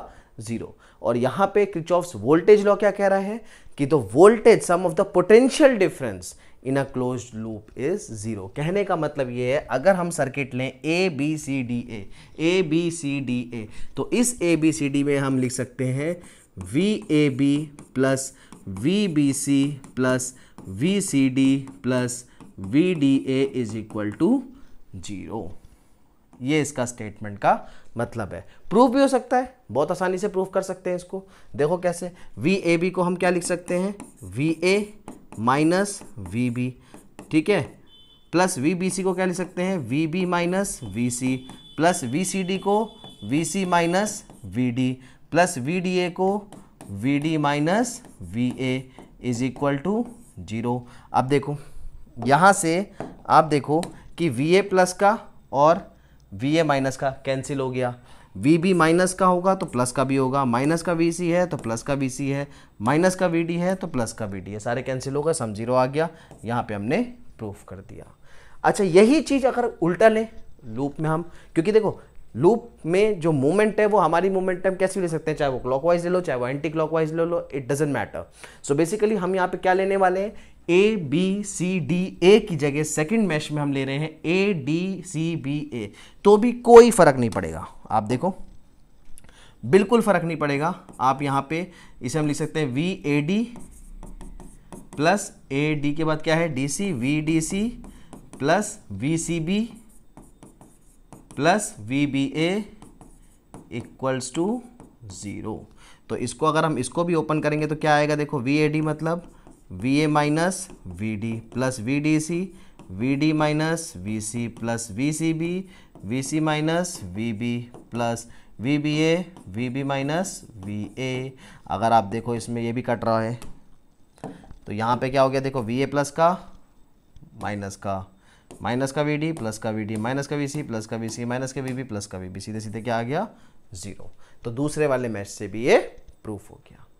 So, this was basically the second statement that the sum of the potential difference in any closed mesh or a loop is always zero. ठीक है? आगे बढ़ते हैं। अब आगे हमें इस चीज़ को भी देखो प्रूफ करना पड़ेगा। Second law is based on law of conservation of energy अभी अभी हमने अभी अभी हमने प्रूफ करा था that the first law is based on law of conservation of charge ठीक है? अब सेकेंड है एनर्जी का। कैसे है? ये देखना है। अच्छा इसी को हम दोबारा ले लेते हैं। ये जो हमारा स्टेटमेंट था पहला वाला V A B plus V B C plus V C D plus V D A इसको दोबारा ले लेते हैं इसी सर्किट में। तो हम ले लेते हैं V A B plus V B C plus V C D plus V D A ठीक है? Is equal to zero circuit दोबारा बना के देख लेते हैं एक बार। ये इस तरीके से है। हम्म, ये हमने रफ सर्किट जो लिया था अभी। ठीक है, ये हमारा ई e वन था, ये ई e टू ये आर वन ये आर टू ये आई वन ये आई टू ठीक है, अभी ऐसी रफली लिया था हमने। इसी में अगर अप्लाई करके देखें this was A B C D A इसी में अगर ये अप्लाई करके देखें तो यहाँ पे देखो V A B V A B में क्या यहाँ, एक चीज़ यहाँ पे नोट करना है आपने, इसको यूज़ करने से पहले कि जो सेल होता है, जो हमारा सेल होता है सेल इज़ अ सप्लायर। और जो रेजिस्टेंस है, इट इज़ अ कंज्यूमर। ठीक है? अभी हमने साइन कन्वेंशन नहीं पढ़ा है तो साइन कन्वेंशन के बिना जब हम इसको समझ रहे हैं तो यहाँ पे जो हम साइन लेंगे, वो एक तरीके से लेंगे, एक सिस्टमेटिक मैनर में लेंगे। कैसे ले रहे हैं? सेल अगर सप्लाई कर रहा है तो हम सेल को ले रहे हैं पॉजिटिव। और रेजिस्टेंस जो कंज्यूम कर रहा है इसको हम अभी ले रहे हैं नेगेटिव सिर्फ़ इस पार्ट के लिए. अभी हम साइन कन्वेंशन पढ़ लेंगे तो आपकी सारी डाउट्स क्लियर हो जाएगी. सिर्फ़ यहाँ पे यूज़ करने के लिए सेल को मैं पॉजिटिव ले रहा हूँ और रेजिस्टेंस को कंज्यूमर एज अ नेगेटिव तो देखो वी ए बी के अगर हमें बीच में निकालना है तो ई e, सेल लगा है सप्लायर है तो पॉजिटिव तो यहाँ से हम लिख सकते हैं V A B is equal to E one अच्छा वी बी सी में ई टू भी है तो प्लस ई टू ये भी सेल है. अब वी सी डी में वी सी डी में देखो V equals to I R तो आई आर तो आई वन आर वन है, लेकिन रेजिस्टेंस हम नेगेटिव ले रहे हैं तो minus I one R one और सिमिलरली वी डी ए में भी देखो आई टू आर टू आ रहा है तो minus I two R two अभी आपको सप्लायर कंज्यूमर वाला पार्ट सिर्फ़ यहीं पे समझना है, क्योंकि नेक्स्ट स्लाइड में मैं आपको एक ऐसा साइन कन्वेंशन बताऊँगा, जिसके बाद आपको साइन की कोई दिक्कत आएगी नहीं। Is equal to zero. तो यहाँ से देखो हम लिख सकते हैं E one plus E two is equal to इन दोनों को उधर ले जाओ, ये क्या हो जाएगा? I one R one plus I two R two ठीक है? अब यहाँ पे आप इस चीज़ को समझो कि E one plus E two क्या चीज़ था? E one plus E two था हमारा टोटल सप्लाई ठीक है? जितनी एनर्जी हम टोटल सप्लाई कर रहे हैं और I1 one plus R one plus I two plus R two क्या था? टोटल कंजप्शन ठीक है? तो यहाँ पे क्या प्रूफ हो गया? टोटल सप्लाई एनर्जी जो है, वो टोटल कंज्यूम्ड एनर्जी के बराबर आ गई। और इसी तरीके से हम बोल सकते हैं total supplied energy is equals to total consumed energy तो जिसके बेसिस पे हम प्रूव कर सकते हैं that second law is based on law of conservation of energy exam में आपके आ भी सकता है ये डायरेक्ट और इनडायरेक्ट वन मार्क्स में भी पूछ सकता है कि भाई, किच ऑफ़ फ़र्स्ट लॉ किस चीज़ पे बेस्ड है, किच ऑफ़ सेकंड लॉ किस चीज़ पे बेस्ड है। प्रूफ करने के लिए भी आ सकता है तो दोनों चीज़ आपकी क्लियर हो गई है। First law is based on the law of conservation of charge second law is based on the law of conservation of energy अब सबसे इंपॉर्टेंट पॉइंट आता है इसका साइन कन्वेंशन साइन कन्वेंशन देख लेते हैं। साइन कन्वेंशन पढ़ने से पहले सबसे पहले एक चीज़ अपने दिमाग में बिठा लो। Low to high always positive देखो, अगर आप बुक के अकॉर्डिंग जाओगे तो वहाँ पे रेजिस्टेंस वाले पार्ट में हो सकता है कि जो हम पढ़ने जा रहे हैं, उससे साइन अलग लिया हो। ठीक है? बट मैं प्रिफर करता हूँ कि जो मेरी एडवाइस ये रहेगी अगर आपको कन्फ्यूज़न क्रिएट नहीं करनी है, बिल्कुल आसानी से आपको किचॉफ्स लॉ के न्यूमेरिकल करने हैं तो सिर्फ़ एक बात याद रखो low to high always positive चाहे वो रेजिस्टेंस वाले केस में हो, चाहे वो ईएमएफ के केस में हो, दोनों ही केस में आप जो लोगे साइन वो एक ही होगा low to high is equal to positive अब देखो इसको अप्लाई कैसे करना है। इसको तो आप याद कर लो low to high always positive अब लो टू हाई का यहाँ पे मतलब क्या है, ये भी समझ लेते हैं। सबसे पहले आते हैं for the sign of the EMF of the cell पहला वाला जो पार्ट है, वो है for sign of EMF of the cell EMF of the cell में देखो, अगर मान लो ये एक सेल लगा हुआ है तो ये जो लंबा वाला पार्ट है, इसे हम लेते हैं पॉजिटिव टर्मिनल छोटे वाले पार्ट को लेते हैं नेगेटिव टर्मिनल और करंट का डायरेक्शन होता है इस तरीके से। ठीक है? तो करंट का डायरेक्शन इस तरीके से पॉजिटिव की तरफ़ से जाता है और नेगेटिव की तरफ़ से अंदर आता है। तो इसका मतलब करंट का डायरेक्शन जो है, वो हमारा पॉजिटिव से नेगेटिव निकल रहा है और हमारी जो मूवमेंट है, जो हम लूप में डायरेक्शन लेंगे, जिसके अकॉर्डिंग हम चलेंगे, वो मूवमेंट मान लेते हैं इस डायरेक्शन में है। ठीक है? तो हमारी मूवमेंट कहाँ जा रही है देखो? पॉजिटिव से नेगेटिव मतलब हाई से लो जा रही है। हाई से लो और हमने अभी भी क्या पढ़ा? लो टू हाई पॉजिटिव लेना है। यानी कि हम तो हाई टू लो जा रहे हैं हमारी मूवमेंट ईएमएफ के हिसाब से। ठीक है? तो इस केस में हम जो साइन लेंगे ई e का वो नेगेटिव लेंगे। हमारा जो ई e होगा वो नेगेटिव होगा इस केस में। मान लो ये ई e वन है तो यहाँ पे माइनस ई वन ये ई टू है तो माइनस ई टू यूज़ करेंगे। कहीं पे भी सर्किट में, जैसे अभी अभी पीछे सर्किट इसी को ले लेते हैं। अब मान लो मेरी मूवमेंट इधर से ऐसे है। ठीक है? तो यहाँ से ई माइनस से प्लस की तरफ़ आ रहे तो यहाँ देखो ये क्या है? Low potential to high potential तो इस केस में मैं क्या लेता? लो टू हाई पॉजिटिव तो प्लस का ई टू लेता इस केस में अकॉर्डिंग टू दिस मोमेंट ठीक है? तो यहाँ पे ये वाला पार्ट हो गया। इसी का दूसरा पार्ट देख लेते हैं। ये देखो, ये पॉजिटिव है, ये नेगेटिव है करंट इधर जाएगा, ये हाई पोटेंशियल पे है, ये लो पोटेंशियल पे। अब हमारी मूवमेंट देखो कहाँ से अगर अब मेरी मूवमेंट इस तरफ़ है इस डायरेक्शन में। मतलब मैं लो से हाई की तरफ़ आ रहा हूँ। अब देखो, मेरी मूवमेंट है ये। मतलब मैं लो से हाई की तरफ़ आ रहा हूँ। इस केस में मेरा ई e क्या हो जाएगा? पॉजिटिव हो जाएगा। इस केस में ई e क्या हो जाएगा? पॉजिटिव अब कहीं पे भी आपका सर्किट में सेल लगा होगा। आप जो मोमेंट लोगे, उसके अकॉर्डिंग सेल को देखना कि आप प्लस से माइनस की तरफ़ जा रहे हो या माइनस से प्लस की तरफ़। प्लस वाला हाई पोटेंशियल पे होता है माइनस वाला लो पोटेंशियल पे होता है। तो उसके अकॉर्डिंग ये हो जाएगा। ठीक है? For the sign of E M F just look at the poles of cell simple sign देखना है ई एम एफ़ का। पोल्स पे देखो, आपकी मूवमेंट क्या है? लो टू हाई है पॉजिटिव आएगा। हाई टू लो है नेगेटिव आएगा। I hope it is clear now अब हम चलते हैं सेकेंड पार्ट ये इंपॉर्टेंट है। For sign of I R अब देखो, इसमें बना लेते हैं। इसमें भी दो पार्ट है। पहले मान लेते हैं, ये हमारा रेजिस्टेंस है आर ठीक है, ये हमारा रेजिस्टेंस है और इस तरफ़ करंट है। अभी इस पार्ट को मत देखो, पहले हमसे समझ लेते हैं, ठीक है? इसी का सेकंड पार्ट भी देख लेते हैं। यहाँ पे बता देता हूँ मैं। ये हमारा रेजिस्टेंस है आर ठीक है? और इस तरफ़ करंट है। दोनों में करंट सेम है अब हम अपनी डायरेक्शन के अकॉर्डिंग इसमें बात कर लेते हैं। मान लो मेरी मूवमेंट है इस तरफ़। ये है माई मूवमेंट मेरी मूवमेंट इस तरफ़ है। देखो करंट कहाँ जाएगा?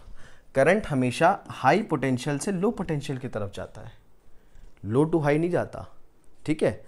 करंट हमेशा हाई टू लो जाता है। मान लो, ये है। इसको मैंने ऐसे रख दिया। अब अगर इसके ऊपर मैं कोई भी ऑब्जेक्ट रखूँगा, वो स्लाइड होकर नीचे जाएगा। मतलब ये हाई पे है, ये लो की तरफ़ जाएगा। लो से वापस हाई लाने में हमें एक्सटर्नल वर्क डन करना पड़ता है। ठीक है? तो करंट भी हाई से लो की तरफ़ जा रहा है। अब हमारी मूवमेंट और करंट की मूवमेंट कहाँ से हो गई? देखो हाई टू लो हो गई और हाई टू लो हो गई मतलब इस केस में हम क्या लेंगे? माइनस आई आर दूसरा चीज़ यहाँ पे ये भी आ सकते हो कि for the sign of I R just look at the direction of current अगर if we are moving along the direction if along the direction move करेंगे तो हमारा आई आर क्या हो जाएगा? नेगेटिव देखो अभी अभी मैंने नेगेटिव लिया है। इस तरीके से भी याद आ सकते हो एज ए ट्रिक कि डायरेक्शन के अलोंग नेगेटिव डायरेक्शन के अपोजिट पॉजिटिव आसान तरीका तो यही है, लेकिन जो आपने अपना कंसेप्ट डेवलप करा है, वो करा है लो टू हाई पॉजिटिव तो उसके अकॉर्डिंग देखो हम हाई टू लो जा रहे हैं। लेकिन सेम चीज़ अगर मेरी मूवमेंट इस तरफ़ हो गई, अगर my movement is in this direction means against the direction of current तो देखो करंट जाता है पॉजिटिव से नेगेटिव मतलब हाई टू लो लेकिन अब आप जा रहे हो लो टू हाई की तरफ़, इस केस में सेकंड वाले केस में। ये तो फ़र्स्ट केस था सेकंड केस में। तो इस केस में जो हमारा आंसर होगा वो प्लस का आई आर होगा। अब ये देखो third point if we are moving against the direction of current then I R is positive against the direction current का डायरेक्शन इधर था, हम इधर जा रहे हैं। तो इस तरीके से आपको डायरेक्शन लेना है। दोनों ही केस में बेस्ट सबसे बेस्ट तरीका है लो टू हाई पॉजिटिव देखो। ठीक है? Low to high always positive देखो, और उसके बेसिस पे हम अप्लाई कर सकते हैं। क्लियर अब न्यूमेरिकल करने से पहले कुछ चीज़ें हैं जो आपको ध्यान में रखनी है। सबसे पहले सर्किट को दोबारा बना लो। कोई सा भी सर्किट है, कोई कैसा भी सर्किट है, चाहे वो कॉम्प्लिकेटेड है, चाहे वो ईजी है, उसको आप दोबारा बनाओगे, ठीक है? सर्किट को दोबारा बनाने से फ़ायदा क्या मिलेगा कि आपको उस सर्किट का आइडिया हो जाएगा। जैसे मैं आपको एक एग्जांपल के तौर पे एक सर्किट बना के दिखाता हूँ, ठीक है? एक रफली एक सर्किट ले लेते हैं। ठीक है शॉर्ट छोटा सा सर्किट है। ये रजिस्टेंस ले लेते हैं फोर ओम ठीक है? यहाँ पे ईएमएफ ले लेते हैं ट्वेंटी फोर वोल्ट और यहाँ पे भी एक ईएमएफ ले लेते हैं और ये एक रेजिस्टेंस ले लेते हैं और यहाँ पे भी एक रेजिस्टेंस ले लेते हैं टू ओम ये सिक्स ओम और ये ले लेते हैं हम ट्वेंटी सेवन वोल्ट ये फोर ओम ठीक है? इसको नाम देते हैं A B C D E F एक सिंपल सा सर्किट ले लिया। क्लियर? अब ये क्वेश्चन दिया था, मैंने इसको दोबारा बना लिया। तो ये फ़र्स्ट पॉइंट होगा आपका। जब आप न्यूमेरिकल्स करोगे तो this is the first point that you have to draw redraw a circuit हम सर्किट को दोबारा बनाएँगे अपनी नोटबुक में। सेकंड है नेम द पॉइंट्स अगर मान लो यहाँ पे कॉर्नर पे पॉइंट्स में नाम नहीं दिए हैं तो पहले आप नेम पॉइंट्स करो। सब उसको पॉइंट्स को नेम करो। सेकंड है distribute current in the various branches अब देखो, हम डिस्ट्रीब्यूट करंट कैसे करेंगे? आप यहाँ पे समझना है आपने डिस्ट्रीब्यूट कैसे करेंगे? मान लो इससे हमारा ये 24 वोल्ट है, इससे करंट आ रहा है, इससे करंट आ रहा है आई वन ठीक है? इससे करंट आ रहा है आई वन और इससे करंट आ रहा है आई टू ठीक है? इससे करंट आई वन आ रहा है, इससे करंट आई टू आ रहा है। एफ़ पे देखो एफ़ पे क्या पॉइंट है? एफ़ पॉइंट पे हमारा क्या हो गया? At F I one plus I two is equal to यहाँ पे ले लेते हैं हम I three is equal to I three now this is the first equation ऐसे इक्वेशन बनानी है। जंक्शन पॉइंट लेना है। जितना इनकमिंग करंट है वो आउटगोइंग के बराबर होगा। के में पढ़ा है हमने। उसको यूज़ कर लिया फ़र्स्ट इक्वेशन हो गई। ठीक है? देखो इक्वेशन बनेगी जितनी हमारी अननोन क्वांटिटीज हो गई। कहीं कहीं पे आप ऐसे भी करोगे कि आई थ्री ना लेके हम I minus I one I one minus I two ऐसा करके भी हम करेंगे। जितने अननोन क्वांटिटीज कम होंगे, उतना फ़ायदा होता है। Select the junction to apply K C L junction करके यही चलिए जो हमने अभी एफ़ पॉइंट पे जंक्शन सेलेक्ट करके के सी एल अप्लाई करा है, ये हमने के सी एल अप्लाई करा है, इस तरीके से करना है। ठीक है? Choose the junction at which the incoming and outgoing is clearly visible ठीक है, हम ऐसी जगह पे जंक्शन पॉइंट लेंगे जहाँ पे हमारा इनकमिंग करंट और आउटगोइंग करंट आसानी से बिल्कुल क्लियर दिख रहा है। ठीक है, कोई कॉम्प्लिकेटेड जगह पे नहीं लेंगे। Select the loop and the mesh and prefer those meshes in which there are less component हाँ। अब कौन सा मैश में हम किचऑफ्स वोल्टेज लॉ अप्लाई करने वाले हैं, ये इंपॉर्टेंट है। इसको सेलेक्ट करना है हम वो मैश लेंगे जिसमें लेस नंबर ऑफ़ कॉम्पोनेंट जैसे देखो अगर हम ए बी सी डी ले ए बी सी एफ़ लेते हैं इस वाले पार्ट में तो ए बी सी एफ़ में one two three four four component है। F C D E F लेते हैं तो इसमें वन टू थ्री कॉम्पोनेंट है। और अगर बड़ा वाला ए बी डी ई ए लेते हैं तो वन टू थ्री कॉम्पोनेंट है। तो फ़ायदा हमें कौन सा रहेगा? ए बी डी ई ए लेने में, क्योंकि इसमें वन टू और थ्री कॉम्पोनेंट है, और नीचे वाला लेने में। F C D E F क्योंकि इसमें भी तीन कॉम्पोनेंट जितने सिंपल कॉम्पोनेंट होंगे, उतना फ़ायदा मिलेगा। Apply Kirchhoff's voltage law apply voltage law apply करेंगे, ठीक है? नंबर ऑफ़ इक्वेशन उतनी बनेगी जितना हमारे नंबर ऑफ़ अननोन क्वांटिटीज हैं। और लास्ट में इक्वेशन को सॉल्व कर देंगे। जैसे हम लीनियर इक्वेशन को सॉल्व करते हैं इक्वेशन बना के एक्स वाई के फॉर्म में, आपने क्लास टेंथ में भी करा होगा। उसी तरीके से हमें यहाँ पे सॉल्व करना ठीक है? चलो, सबसे पहले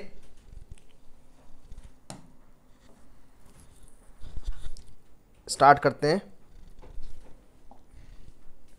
वीटस्टोन ब्रिज देखो वीटस्टोन ब्रिज होता क्या है? इससे पहले मैं आपको एक बात बता दूँ कि क्लास ट्वेल्थ के सेक्शन ए एक्सपेरिमेंट में सेकंड एक्सपेरिमेंट और थर्ड एक्सपेरिमेंट आपका इसी पे बेस्ड है वीटस्टोन ब्रिज पे। वीटस्टोन ब्रिज मतलब application of Wheatstone bridge that is a meter bridge और स्लाइड वायर ब्रिज पे ही बेस्ड है। तो इसका थ्योरेटिकल टॉपिक को बहुत अच्छे समझना है। ये आपके वाइबा का क्वेश्चन भी है, जो आपका एक्सटर्नल एग्जामिनर आपसे पूछेगा वाइल डूइंग द प्रैक्टिकल अगर आपको ये प्रैक्टिकल अलॉट होता है तो। ठीक है? तो आइए स्टार्ट करते हैं। सबसे पहले वीट वीटस्टोन ब्रिज होता क्या है? आपको सबसे पहले ये पता होना चाहिए कि जो मीटर ब्रिज है, जिससे हम आप क्या करने जा रहे हैं, हम एक अननोन रेजिस्टेंस को फाइंड करने जा रहे हैं। मैं आपको पूरा का पूरा एक सेटअप भी दिखाऊँगा कि लैब में सेटअप कैसे करते हैं थ्योरेटिकली उसका सर्किट डायग्राम कैसे बनाना है, सब कुछ और इसका प्रैक्टिकल ऑलरेडी मैं बना चुका हूँ इस पर वीडियो आप प्रैक्टिकल सेक्शन में जाओगे क्लास ट्वेल्थ में, उसमें एक्सपेरिमेंट टू और थ्री को देखना, वो इसी पे बेस्ड है। तो बेसिकली सबसे पहली चीज़ जो आपको याद रखनी है कि Wheatstone bridge it is use to find the unknown resistance so keep it in the mind that Wheatstone bridge किस लिए यूज़ होता है? अननोन रेजिस्टेंस को फाइंड करने के लिए। सबसे जो पहला पॉइंट है हमारा to find unknown resistance accurately ठीक है? इसको पीओ बॉक्स भी कहते हैं that is called the post office box clear अब इसमें क्या होता है? चार रेजिस्टेंस होते हैं। वीटस्टोन बीच का आपको देखो लेफ़्ट साइड में मेरा आपका डायग्राम दिख रहा होगा। चार रेजिस्टेंस होते हैं इसमें। पी क्यू आर एक्स ठीक है? यहाँ पे चलो एस ले लिया है। वैसे जनरली मैं एक्स लेता हूँ। That is called unknown resistance unknown resistance ये जो हमारा एक्स वाला पार्ट है, ये अननोन रेजिस्टेंस है। ठीक है? उसमें यहाँ पे दिखा, देखो where X is unknown resistance ठीक है? और बेसिकली इसका एक बैलेंस कंडीशन है। बैलेंस कंडीशन क्या है? जब इस सर्किट को हम वर्किंग करेंगे तो जब इसमें करंट फ्लो होगा तो एक ऐसा पॉइंट आएगा जहाँ पे करंट बी डी आर्म में नहीं जाएगा। बी डी आर्म में करंट ना जाने का मतलब है कि गैल्वेनोमीटर कनेक्टेड है यहाँ पे, उसका डिफ्लेक्शन ज़ीरो पे आ जाएगा, वो डिफ्लेक्ट नहीं करेगा। ठीक है? That means the current in galvanometer will be zero ये है इसका बैलेंस कंडीशन और जब ऐसा होगा, तब P by Q is equals to R by X हो जाएगा। ठीक है? ये इसका बैलेंस कंडीशन है, वो हम आगे प्रूफ करेंगे बैलेंस कंडीशन को। अभी ये याद रखो कि no current passes through the galvanometer that means I G is equal to zero मैं no current passes through galvanometer means I G is equals to zero ठीक है? अब हमें डिराइव करना है बैलेंस कंडीशन को। बैलेंस कंडीशन को derive करने का सिंपल मतलब मैं आपको भी बता दूँ कि हम ये डिराइव करने जा रहे हैं कि P by Q is equal to R by X होता है। ठीक है, ये ड्राइव करना है। इसी से हम अननोन रेजिस्टेंस आगे निकालेंगे भी फॉर्मूला कैसे निकालेंगे? डिराइव कैसे करना है? लेक्चर नंबर नाइन अगर आपने नहीं देखा है तो ये डेरिवेशन में दिक्कत आएगी, क्योंकि हम किचॉफ्स लॉ को यूज़ करेंगे, उसका वोल्टेज लॉ यूज़ करेंगे कि चौस वोल्टेज लॉ मैश में इसको करने के लिए। ठीक है? तो अगर यहाँ पे नहीं देखा है कि पिछला लेक्चर तो यहाँ पे दिक्कत होगी क्योंकि साइन कन्वेंशन और Kirchhoff's law voltage law second law that is a lecture number nine में तो वो चीज़ आपको देखना पड़ेगा अदरवाइज़ ये वाला पार्ट नहीं हो पाएगा। तो अगर अभी तक आपने नहीं देखा है तो आप प्ले में जाओ lecture number nine current electricity के चैप्टर नंबर थ्री के क्लास ट्वेल्थ के चैप्टर थ्री के करंट इलेक्ट्रिसिटी के लेक्चर नंबर नाइन में आप उसका ए पार्ट देखो। ठीक है? चलो स्टार्ट करते हैं। Derivation of balance condition from Kirchhoff's law balance condition को डिराइव करना है। ठीक है? बैलेंस कंडीशन को कैसे? ये तो कोई सर्किट डायग्राम है। सबसे पहले तो करंट डिस्ट्रीब्यूट करते हैं। यहाँ से करंट निकल रहा है। मान लेते हैं कि इसमें से जो करंट निकल रहा है दैट इज़ आई ठीक है? अब ये आई करंट यहाँ पे दो पार्ट में डिवाइड हो रहा है।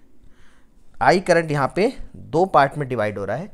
पहला ले लेते हैं आई वन ठीक है? तो ये वाला कितना होगा देखो? ये वाला करंट हो जाएगा I minus I one current distribution सही से देखना। आई करंट जा रहा था, दो पार्ट में डिवाइड हुआ, एक आई वन गया तो दूसरा I minus I one clear अब ये आगे चल के देखो क्या हुआ। यहाँ पे, यहाँ से करंट इधर चला गया आई जी मतलब आई जी का मतलब करंट इन गैल्वेनोमीटर आई जी का मतलब आई इन गैल्वेनोमीटर ठीक है? अब आई जी करंट इधर चला गया तो यहाँ पे करंट कितना बचेगा? इसमें देखो आई वन करंट जा रहा था, इधर आई जी चला गया तो यहाँ हो गया आई वन माइनस आई जी ठीक है करंट डिस्ट्रीब्यूशन को समझना है। आई वन करंट जा रहा था आई जी इधर चला गया तो आई जी में से आई वन जितना माइनस करोगे, वो करंट बी सी आम में चला जाएगा। अच्छा आई माइनस आई वन इधर से आ रहा है और आई जी इधर से आ रहा है। तो इसमें करंट कितना आएगा देखो? इस आम में करंट कितना आएगा देखो? इस आम में करंट आएगा आई माइनस आई वन और ये और आई जी आ रहा है तो इसको प्लस कर देंगे आई जी क्लियर अब आप इन दोनों को मैच करोगे, देखो प्लस का आई वन माइनस का आई वन कैंसिल हो जाएगा माइनस का आई जी प्लस का आई जी कैंसिल हो जाएगा, बचेगा क्या? सिर्फ़ आई तो यहाँ पे सिर्फ़ आई करंट बचेगा। ठीक है, यहाँ पे सिर्फ़ आई करंट बचेगा। मतलब जितना करंट हमारा आ रहा था सर्किट में, उतना ही निकल रहा है। इसका मतलब हमारा करंट डिस्ट्रीब्यूशन बिल्कुल सही है। करंट डिस्ट्रीब्यूशन में कोई दिक्कत नहीं है। मैं फिर से बता देता हूँ आई करंट यहाँ से जा रहा है, दो आर्म्स में निकला। दो आर्म्स में। ऊपर वाला आम में जो गया, वो आई वन नीचे वाले ए डी आम में जो गया, वो आई माइनस आई वन ठीक है? अब ये आई वन करंट फिर से बी पॉइंट पे जाके दो पार्ट में डिस्ट्रीब्यूट हो रहा है। एक बी सी आम में और एक बी डी आम में। तो बी डी आम में जा रहा है आई जी करंट आई जी मतलब करंट इन गैल्वेनोमीटर ठीक है? तो जितना आई जी को आई वन से हम सब्ट्रैक्ट कर देंगे, वो आ जाएगा हमारा I one minus I G B C arm में। ठीक है? और ये आई जी करंट जुड़ जाएगा जो ए डी में आ रहा था। तो इसमें तीनों को जोड़ दो। I minus I one plus I G वो इसमें है। अब इन दोनों को जब ऐड करोगे तो देखो माइनस का आई वन प्लस का आई वन कैंसिल हो जाएगा। माइनस सॉरी माइनस का आई जी प्लस का आई जी कैंसिल हो जाएगा। सिर्फ़ आई बचेगा। तो total incoming current is equals to outgoing current I hope this is clear now चलो। अब हमें क्या करना है? हमें यूज़ करना है K V L in mesh K V L in mesh A B D A A B D A देखो, मैं मूवमेंट लूँगा इस तरीके से एंटी क्लॉक सॉरी क्लॉकवाइज मेरी मूवमेंट होगी ए बी डी ए जिस तरीके से मैंने लिखा है। तो ए बी डी ए को कैसे लिखते हैं? न्यूमेरिकल वाले पार्ट में भी मैंने आपको बताया है। V A B plus V B D plus V D A is equal to zero ध्यान रहे, आपको ये चीज़ मैं क्लियर कर दूँ कि potential V A B plus V B D plus V D A to zero मैंने कहाँ से लिखा है? क्रिचॉफ वोल्टेज लॉ से that the sum of the potential difference in a close loop is equal to is always zero और equal to zero that is the second law of Kirchhoff's law ठीक है? अगर आपको लग रहा है कि ये मैंने कहाँ से लिखा है तो मैंने अपनी तरफ़ से नहीं लिखा, मेरे पास कुछ नहीं है। मैंने जो आपको पिछले लेक्चर में पढ़ा है, ये वहाँ से लिखा है। तो ये आ गया हमारा, अब देखो V A B sign convention use करेंगे, याद करो। हमारा जो मेन मोटिव था साइन कन्वेंशन का, वो क्या था? Low to high always positive उसको यूज़ करेंगे ईएमएफ e के लिए भी और सेल के लिए भी. सॉरी रेजिस्टेंस के लिए भी. तो देखो ए बी ब्रांच में देखो. वी ए बी हमारा मूवमेंट और करंट का मूवमेंट सेम है. ये भी एक ट्रिक था कि हमारा मूवमेंट करंट का मूवमेंट अगर सेम होगा तो उसमें हमारा क्या हो जाएगा? हाई टू लो और हाई टू लो या फिर अगर in the direction of current हमारा नेगेटिव जाएगा. मतलब ये हो जाएगा minus I one into R R हमारा पी है। मतलब ये रेजिस्टेंस जो है पी है इसका नाम, ठीक है? चलो, दूसरा देखते हैं V B D B D में भी हमारा डायरेक्शन करंट का डायरेक्शन सेम है। अच्छा गैल्वेमीटर के डायरेक्शन को हम आर जी लेंगे रेजिस्टेंस को। गैल्वेमीटर के रेजिस्टेंस को क्या लेंगे? आर जी तो देखो बी डी में जब हम जाएँगे तो आई जी इंटू आर जी और करंट के डायरेक्शन के लॉन्ग जा रहे हैं तो नेगेटिव तो minus I G into R G अच्छा डी ए में देखो, हमारा डायरेक्शन करंट के डायरेक्शन के अपोजिट हो गया। अब देखो करंट के डायरेक्शन के अपोजिट हो गया मतलब पॉजिटिव क्यों? क्योंकि हम लो टू हाई जा रहे हैं करंट हाई टू लो जाता है। तो हमारा पॉजिटिव हो गया तो ये कितना आएगा? प्लस का प्लस के I minus I one into R equal to zero ये हो गया हमारा, इसको मान लेते हैं इक्वेशन नंबर वन ठीक है? चलो same using KVL in mesh B C D B चलो बी सी डी बी में भी हम एक मैश यूज़ कर लेते हैं। तो देखो क्या बनता है। Using KVL in the mesh B C D B अब देखो बी सी डी बी में भी अगर हमें क्या लगाना है, वही चीज़ लगानी जो अभी लगाया था, हमारा मूवमेंट है इस तरीके से।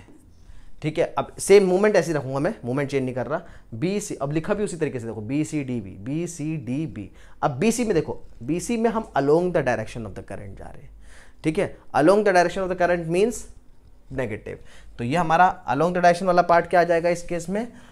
पहले से इसको ऐसे लिख लो V B C plus V C D plus V D B is equal to zero फिर से मैं आपको बता दूँ कि ये V B C plus V C D plus V D D हमने कहाँ से लिखा है? हमने ये लिखा है क्रिचॉफ्स वोल्टेज लॉ से। Sum of potential difference in a close loop is zero ठीक है?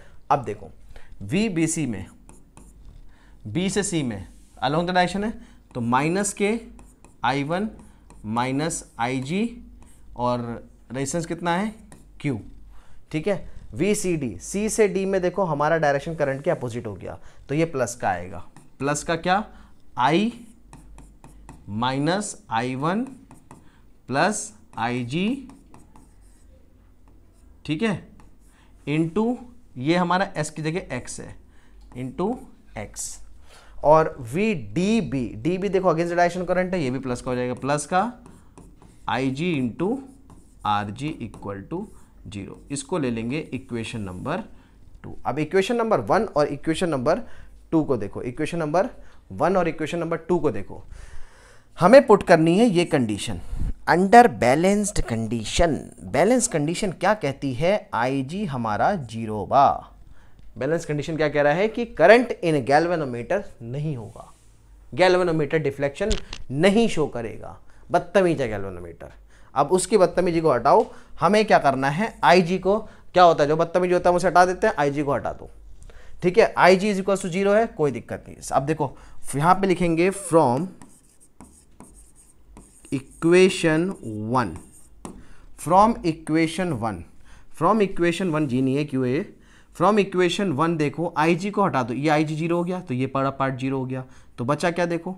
माइनस के आई वन पी ठीक है? माइनस के आई वन पी प्लस के I minus I one R is equal to zero हो गया। ठीक है? और हम इसमें क्या लिख सकते हैं? भाई माइनस वाला पार्ट उधर जाएगा, उसको इधर लिख लो। तो I one P is equal to I minus I one into R इसको ले लेते हैं इक्वेशन नंबर थ्री ठीक है? सेम चीज़ इधर भी अप्लाई कर दो। सेम चीज़ इधर भी अप्लाई कर दो।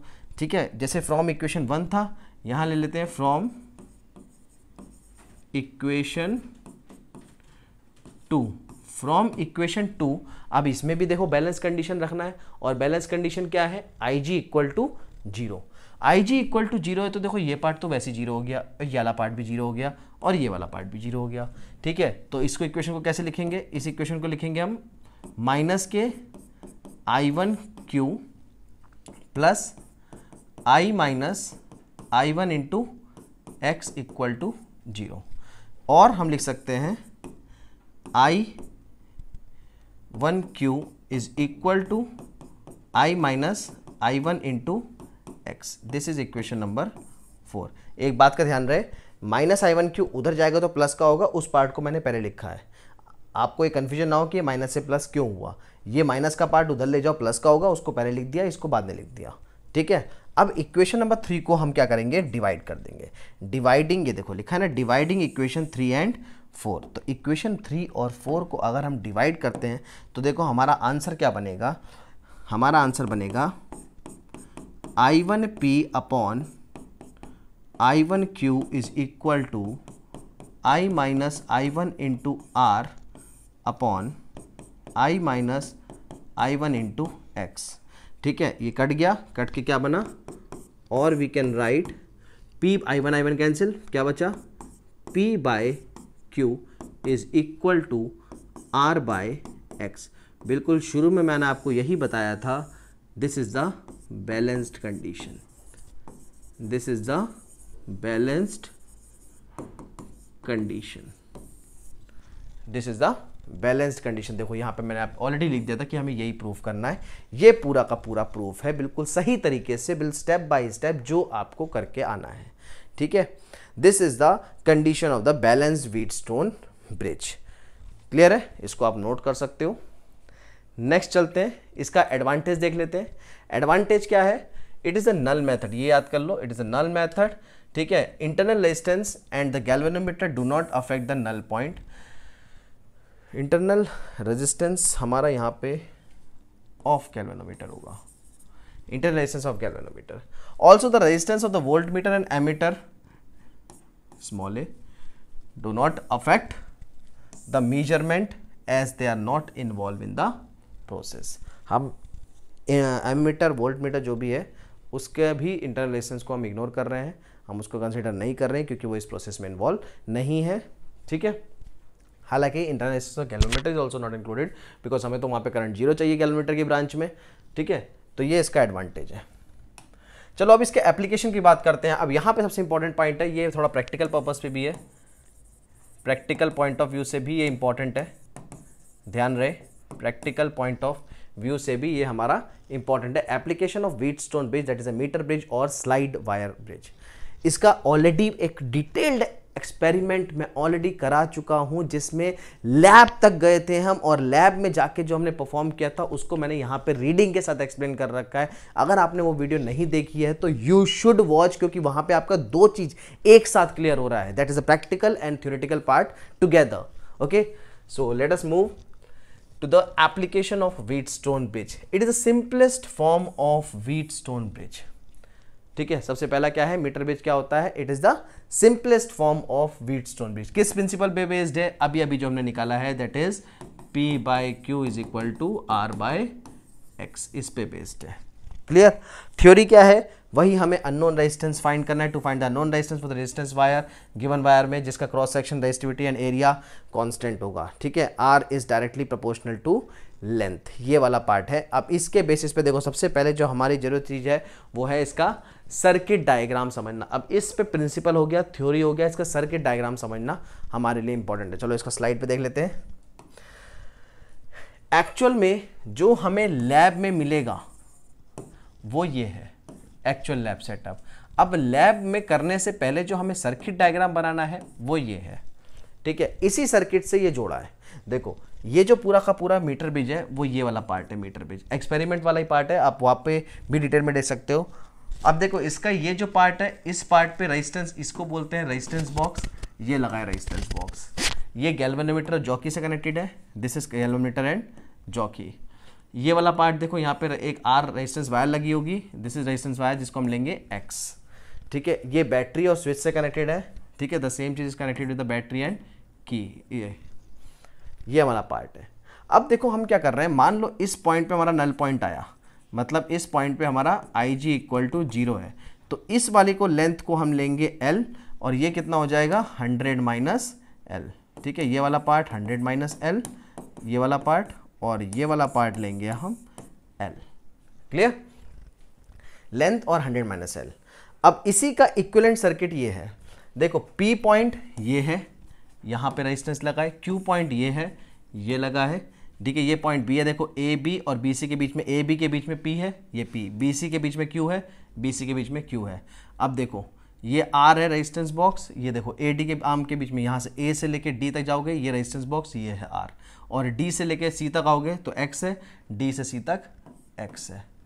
ठीक है, अब ये पार्ट करंट डिस्ट्रीब्यूशन में ऑलरेडी अब इसमें करंट डिस्ट्रीब्यूशन नहीं करना है, क्योंकि हम यहाँ पे कोई किरचॉफ्स लॉ अप्लाई नहीं कर रहे हैं, हम सीधे यूज़ करेंगे। आपको देखो, ये याद रखना है R is directly proportional to the length resistance यहाँ पर लेंथ के डायरेक्टली प्रोपोर्शनल है। इस हिसाब से, अब देखो, ये हमारा सर्किट डायग्राम है जो अभी हमने करा था। इस हिसाब से resistance of the section A B क्या होगा? ए बी का रेजिस्टेंस किसके बराबर है? पी के बराबर है। और पी किसके proportional directly length of L P इस सर्किट के हिसाब से। ये है एल पी का लेंथ ये वाला। ठीक है? और ये वाला लेंथ है एल क्यू ठीक है? एल पी ही एल है, ध्यान रहे। एल पी ही एल लेंगे हम बाद में और एल क्यू को ही हंड्रेड माइनस एल लेंगे हम लास्ट में।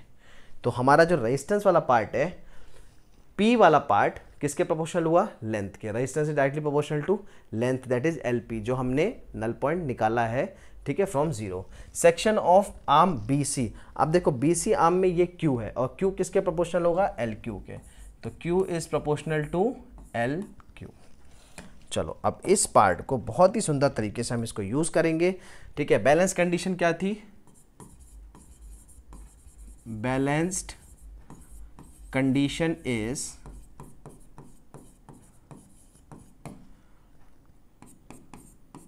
P by Q is equal to R by X. Balance condition is P by Q is equal to R by X. चलिए, ये बात भी ठीक है P by क्यू की जगह हम क्या लिख सकते हैं? P by क्यू की जगह लिख सकते हैं हम L P by L Q is equal to R by X अभी अभी मैंने आपको क्या बताया? एल पी एल के बराबर है L Q hundred minus L के बराबर है। तो हम ये लिख सकते हैं और एल पी की जगह एल अपॉन एल क्यू की जगह hundred minus L is equal to R by X ध्यान रहे, इस बात से आपको पता होना चाहिए कि हम निकाल क्या रहे हैं। हम निकाल रहे हैं X that is unknown resistance तो हम यहाँ से निकाल सकते हैं एक्स इज़ इक्वल टू यहाँ लिख लो और एक्स इज़ इक्वल टू इसको हटा दो। X is equal to X यहाँ पे आएगा हंड्रेड माइनस एल ऊपर जाएगा। तो ये जाएगा hundred minus L divided by ये वाला एल नीचे आ जाएगा एल इंटू आर ठीक है? ये हो गया X that is unknown resistance X that is unknown resistance यहाँ से हमारा फॉर्मूला निकल गया। एक्स निकालने का formula that is unknown resistance आप इसको पूरा यूज़ कर सकते हो। ठीक है? यही थ्योरेटिकल पार्ट है जो आपको लैब में एक्टिविटी जब करोगे, उससे पहले आपको शो करना पड़ेगा। थ्योरी पार्ट में यही फॉर्मूला है जिससे हमारी सारी रीडिंग निकलेगी इस एक्सपेरिमेंट की। ठीक है? चाहे आप law of combination of resistance को आप वेरीफाई कर रहे हो या फिर आप अननोन रेजिस्टेंस निकाल रहे हो। दोनों अलग अलग एक्सपेरिमेंट है इसी पे बेस्ड ठीक है? तो आई होप ये चैप्टर सीक्वेंस से आपको पूरा मिल चुका है क्लियर हो गया होगा। अब हम चैप्टर नंबर फोर स्टार्ट करेंगे नेक्स्ट प्लेलिस्ट से। ठीक है? धीरे धीरे इसके न्यूमेरिकल्स भी आ, आते रहेंगे। Please do like subscribe and share this अगर आपको ये पसंद आए। Thank you